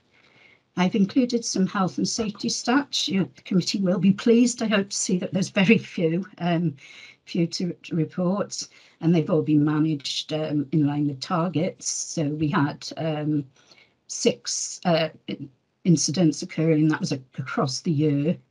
And the other thing I wanted to mention is we receive Welsh Government uh, alerts. So we've received, reviewed and acted upon, where appropriate, uh, 13 Welsh Government alerts. And these can re uh, relate to um, items that might be in place in our buildings, that sort of thing. So there's quite a bit of liaison with our landlords as well in that area. Um, and finally, take a breath. Um, we mm-hmm. just wanted to mention that um, we're coming up to the time now when we're going to have to pull, pull together our emissions data to report into Welsh Government. So uh, clearly the committee will have an interest in that. So I'll make sure that comes through the formal um, sort of approval process and comes to the committee for information. And that was it from me. I'm happy to take any questions. Thank you. Thank you, Julie. That's a really helpful uh, summary of some of the key areas of work and good to see uh, uh, progress in some of those key areas like, uh, well, there are quite a significant reduction in our carbon footprint, which is really very welcome to see. Um, I've got questions, uh, observations from David Selway. David. Uh, Julie, thanks, Chair. Th Julie, thanks for the report. Um, I just um, seeking some clarification. We've got a um, a one percent year on year reduction in uh, energy consumption. Does that get us to where we need to be in terms of our target, or or or not? Yes, it does, David. Actually, I think we're going to be ahead of our target if we continue how we are. Yeah. Okay, great. Thank you. Thank you, Julie. Um, and that's uh, pleasing to note. So if there aren't any other questions then. Um, we are as a committee being asked to note the estates and compliance report, uh, which of course we, we do. Thank you, Julie, uh, for that update. Thank so you, on now then to the contract extension standard operating procedure. And uh, I'll hand over now to Julie Francis uh, to present uh, this uh, agenda item. Julie. Thank you, Chair. Okay, so the committee is required to note the content in the report. By way of context, the report has been developed in response to a request from the chair of the Audit and Assurance Committee. Um, a process flowchart, therefore, is a document has been developed which sets out the process to be followed in relation to contract extensions outside the term of contract, which are either executed via a contract change note or a variation in terms, and this is complies with our standing financial instructions and PCR 2015 Regulation 72. What I've tried to do um, in this report is focus on each of the scenarios under which a contract could be extended outside its terms, the governance requirements and the procurement products which need to be undertaken to ensure compliance. And uh, finally, the flow diagram will now become part of the suite of documentation in the integrated management system and is embedded within my team and will form part of the training program to deliver to be delivered by my team across the directorates. Thank you. Thank you, Julie. I think there's a thumbs up and um, uh, very positive response to um, uh, your uh, your presentation there. Are there any further questions or comments? No. Uh, thank you very much. We uh, note then the contract extension standing operating procedure, uh, which brings us then to a, a completely different topic uh, in a sense, and it's uh, a report on the uh, COVID-19 pandemic inquiry report. Now there was, we this was brought formally to the board uh, a few weeks ago, but uh, as a matter of process, we're bringing it uh, formally to the audit committee as well. So I'm going to ask uh, Chris Darling to uh, present the update on uh, the COVID-19 inquiry. Thanks, Marion. The update is there for committee members to note. So I'm sure everyone's aware the inquiry is will play a key role in examining the UK's pandemic response and ensuring that we learn uh, lessons for the future so that Wales is part of the UK pandemic response. The, it appears there won't be a, a Wales only response um, or inquiry. Uh, the, the, update report includes the terms of reference setting out uh, the aims of the inquiry, um, and DHCW have recently instructed um, NWSSP Legal and Risk Services to represent us uh, and have had a solicitor allocated to us to support us in the preparation for the inquiry. Um, Michelle chairs the, uh, the the group in terms of preparing us, and I think the one thing I'll invite Michelle in now. The one thing we've discussed is at this stage it's quite hard to know the full scope and extent to which this will impact DHCW and therefore the resource implications it might or might not have on DHCW. And I think that's the key thing myself and Michelle have kind of discussed and grappled with because it's clearly huge um, on a UK basis, but how big it will be for us and whether the work we've done today is sufficient, etc., is what we're trying to get a sense of. So, Michelle, I don't know if you want to add anything to that. If I can get my mute off. Yes, thank you, Chris. I was just going to say, uh, yes, agreed.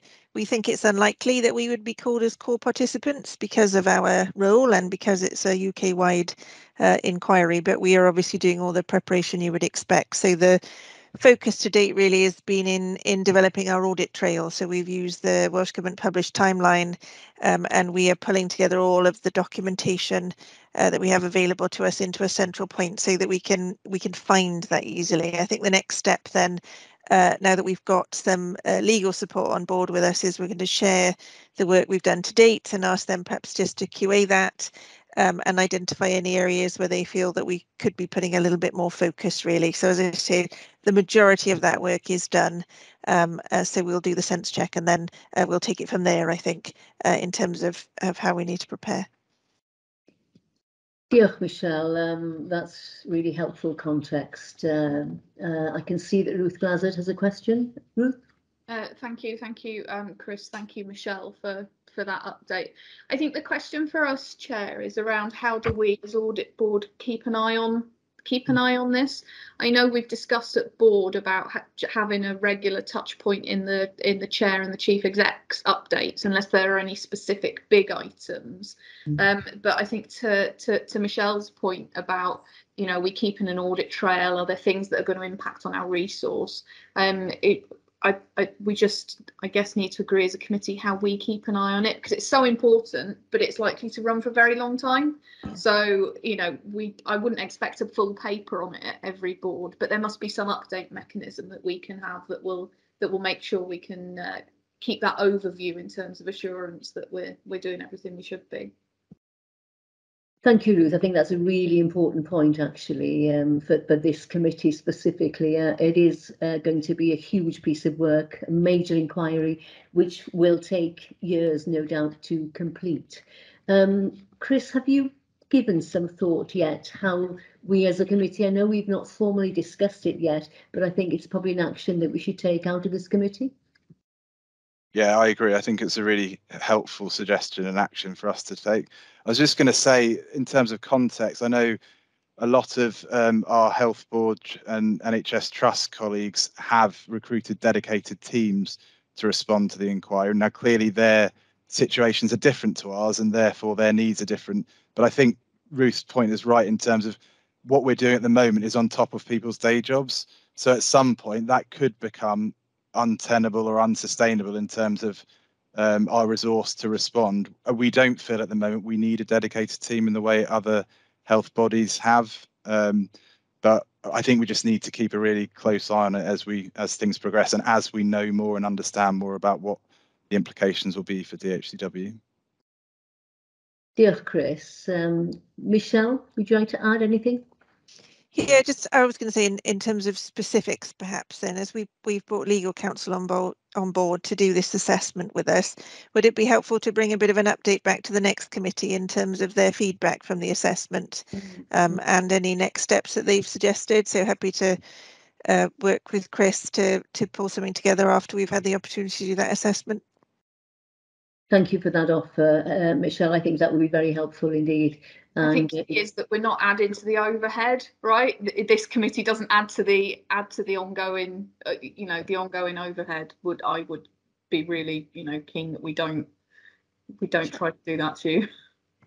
And uh, that uh, that information might help uh, help the organisation identify any uh, resource requirements down the line as well, which no doubt would be very helpful.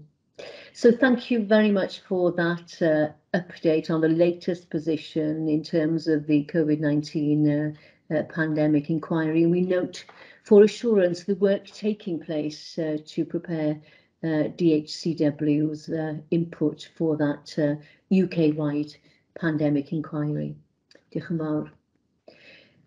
Our next agenda item, we're drawing towards the end of our committee meeting. Um, the next agenda item is the Standing Orders Annual Review Report, uh, agenda item 4.13. Uh, and again, uh, this is uh, our Board Secretary, Chris Darling, who will present uh, the Standing Orders Annual Review Report. Uh, Chris. Thanks, Chair. And the the sequencing of meetings means that I'm bringing this here after it's gone to board. Um, so really, I'm bringing it here for completeness to make sure committee members are all sighted on, on the standing orders that have gone and been approved uh, by the board, which incorporate updates to the terms of reference going into uh, financial year 2022-23. Um, so just in terms of the standing orders, um, minimal changes were made um, for this financial year. Um, the changes are set out within the report, the main changes being the terms of reference, as I mentioned, particularly local partnership forum and the scheme of delegation to officers, um, where the changes in the exec team has, have meant the chief executive has um, increased the scheme of delegation to officers going into this financial year. Um, the other point of note was the standing orders compliance. I'm pleased to say during 2021, we didn't have to bring uh, any non-compliance with standing orders to this committee um, that we that we've been made aware of. Um, in terms of implementation of the standing orders, there are a couple of areas just to note, um, and I'll, I'll, be brief um, on this. So um, we haven't had during 2021-22 a full complement of voting board members. Generally, we've had nine out of 12. Um, hopefully, that will change very soon in 22-23. Um, having said that, we've been core at every board meeting we've held throughout the financial year. Uh, in terms of associate members, we've got one appointed uh, for trade unions during 22-23. We may appoint um, up to two more associate members with Welsh Minister uh, approval. Uh, there's been no chair's action taken during last financial year and we've adhered to our committee structure as set out in the terms of reference. Probably worth noting at the moment, the Digital Governance and Safety Committee is operating at a core level. Um, hopefully this next meeting will be the last meeting where that's the case as the uh, Touchwood uh, independent member is appointed uh, in early June to fill that vacancy.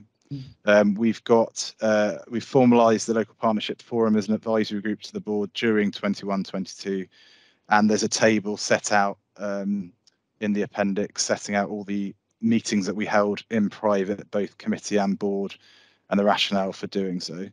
So it, it's just for completeness, Marion, to make sure it's come through this committee. So apologies for the sequencing, but it's just for noting the committee members. Thank you, Chris. That's uh, that's very helpful. As as you say, it's a unique timetabling issue that we've had this uh, this year and having to uh, change dates. And I'm sure we'll endeavour to to uh, uh, strive that it won't happen uh, again. But these things do inevitably happen from time to time. Claire, would you like to make a comment? Yeah, it, it was a really good report and, and, and as such stimulated me to do an SFI review. So similarly to the SO review, we've done we've done one for finance where we identified actually two areas uh, where we've made changes during the year. So I, I um, again, it, I could bring it back to the committee for note next week, uh, next next week in the next meeting just for completeness. But actually, I'll I like the layout and actually it stimulated uh, additional controls within within the SFI. So uh, well done. Thank you, Chris. Uh, thank you, Claire. Um, that's uh, re really helpful. Uh, so um, the committee is being asked to note for assurance uh, the changes as outlined there to the standing orders. and I think the committee would welcome, Claire, um, to see the results of the SFI review. Um, be really helpful if we have that in our July meeting. So we'll add that to, to an action. Thank you very much. So the last two items, well, the next item is certainly for, for, for noting, and it is the uh, NHS Wales Shared Service Partnership Committee Assurance Report, um, which is uh, included on uh, our committee's uh, um, agenda as a standard item. Um, Claire, is there anything you want to add to uh, what's before us here? Uh, no, just to point out, actually, I am the representative on the Shared Services Partnership Board, so I do uh, attend that meeting. And uh, I want to thank Michelle because the last one was the one I couldn't attend, and Michelle um, stepped in. Uh, uh, the, the point I'd like to raise actually is the work they've done to support the Ukraine. Um, they they uh, supported them with stock items, and and actually I think that warranted a visit from the minister, as it, as it says in the report, but they are quite proactive in that, in that space. Um, they, uh, we talked earlier about the car and lease um, cost pressures and, and um, sorry, the, the procurement report highlighted it. Um, they have made adjustments to the list to try and make it more environmentally uh, aware and to support the decarbonisation problem um, but they have um, encountered a few issues in terms of removing petrol, um, some of the limits, so that they've worked collectively to do that. And, and actually, they've they uh, they they include their performance, and, and you can see that there's some commonalities there with recruitment. Um, but equally, if you look at some of their risks, uh, energy, and we touched briefly on a, on a, in terms of energy inflation and the impact it's going to have going forward, um, as they as our key procurement provider in this space. Um, they are keeping us updated with the work that they're doing to minimise the impact and and use some intelligence in terms of forward cover in that energy market. So um, yeah, it's it's an interesting um, uh, snapshot, but also from our perspective, it's also interesting to see how they report their board performance and the key issues uh, and share that information. Yeah, Claire, that's uh, really helpful. So uh, we note the NHS uh, Wales Shared Service Partnership Assurance Report, and we're fortunate to have you as a, a member on the on that committee. Unless there are any other contributions on that agenda item, I will take us uh, to our penultimate item, which is uh, the Audit Chair's Network Committee Summary Report. Um, and as chair of this committee, I attend uh, that All Wales uh, Audit Committee chairs, which is made up of chairs of health as well as um, uh, uh, more widely. Uh, so um, it's there for uh, information and for noting. Uh, it is primarily a vehicle for sharing best practice and to share some of the challenges and opportunities for uh, um, sharing some of the uh, good practice that emanates and some of the issues as well that rise from audits across Wales. It's a formal uh, vehicle which meets quarterly to enable us to do that. So the uh, uh, note you have before you um, arises from our February meeting and the next meeting is scheduled for later this month and um, we'll be bringing a further report again for information uh, to this committee in July.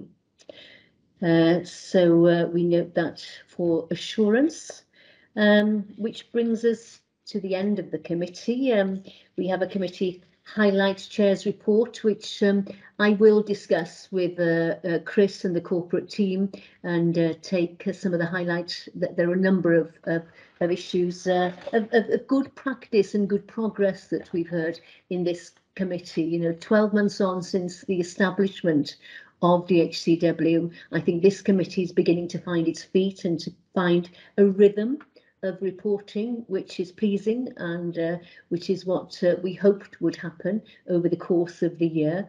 So we will agree those items to include in the board highlight report, um, which uh, goes to board and the next board meeting is in fact on the 26th of, of May um, in uh, three weeks time. Uh, I've not been made aware of any other urgent business. Um, so uh, I intend to bring this meeting to a close slightly before our scheduled uh, timing, but uh, I'm sure we'll all be relieved. It's been a, a, long morning, but I think a very productive and constructive meeting. So uh, I'd like to take this opportunity to thank you all for your contributions, your observations, um, the dates of our next meetings. We've got a fairly busy schedule, just to remind you for clarity. Uh, we got on the 24th of May the review of the draft accounts, followed by um, uh, the review of our audited accounts on the 14th of June. Uh, and then to follow on the 5th of July, our next formal scheduled meeting of uh, the Audit and Assurance Committee. Felly, uh, heb ragor ar ymadroddi, diolch i chi am eich cyfraniadau um, a'ch uh, uh, sylwadau treirgar fel arfer. Thank you again for your time and wish you well uh, and look forward to seeing you on the 24th of May, uh, if not before. Diolch yn fawr.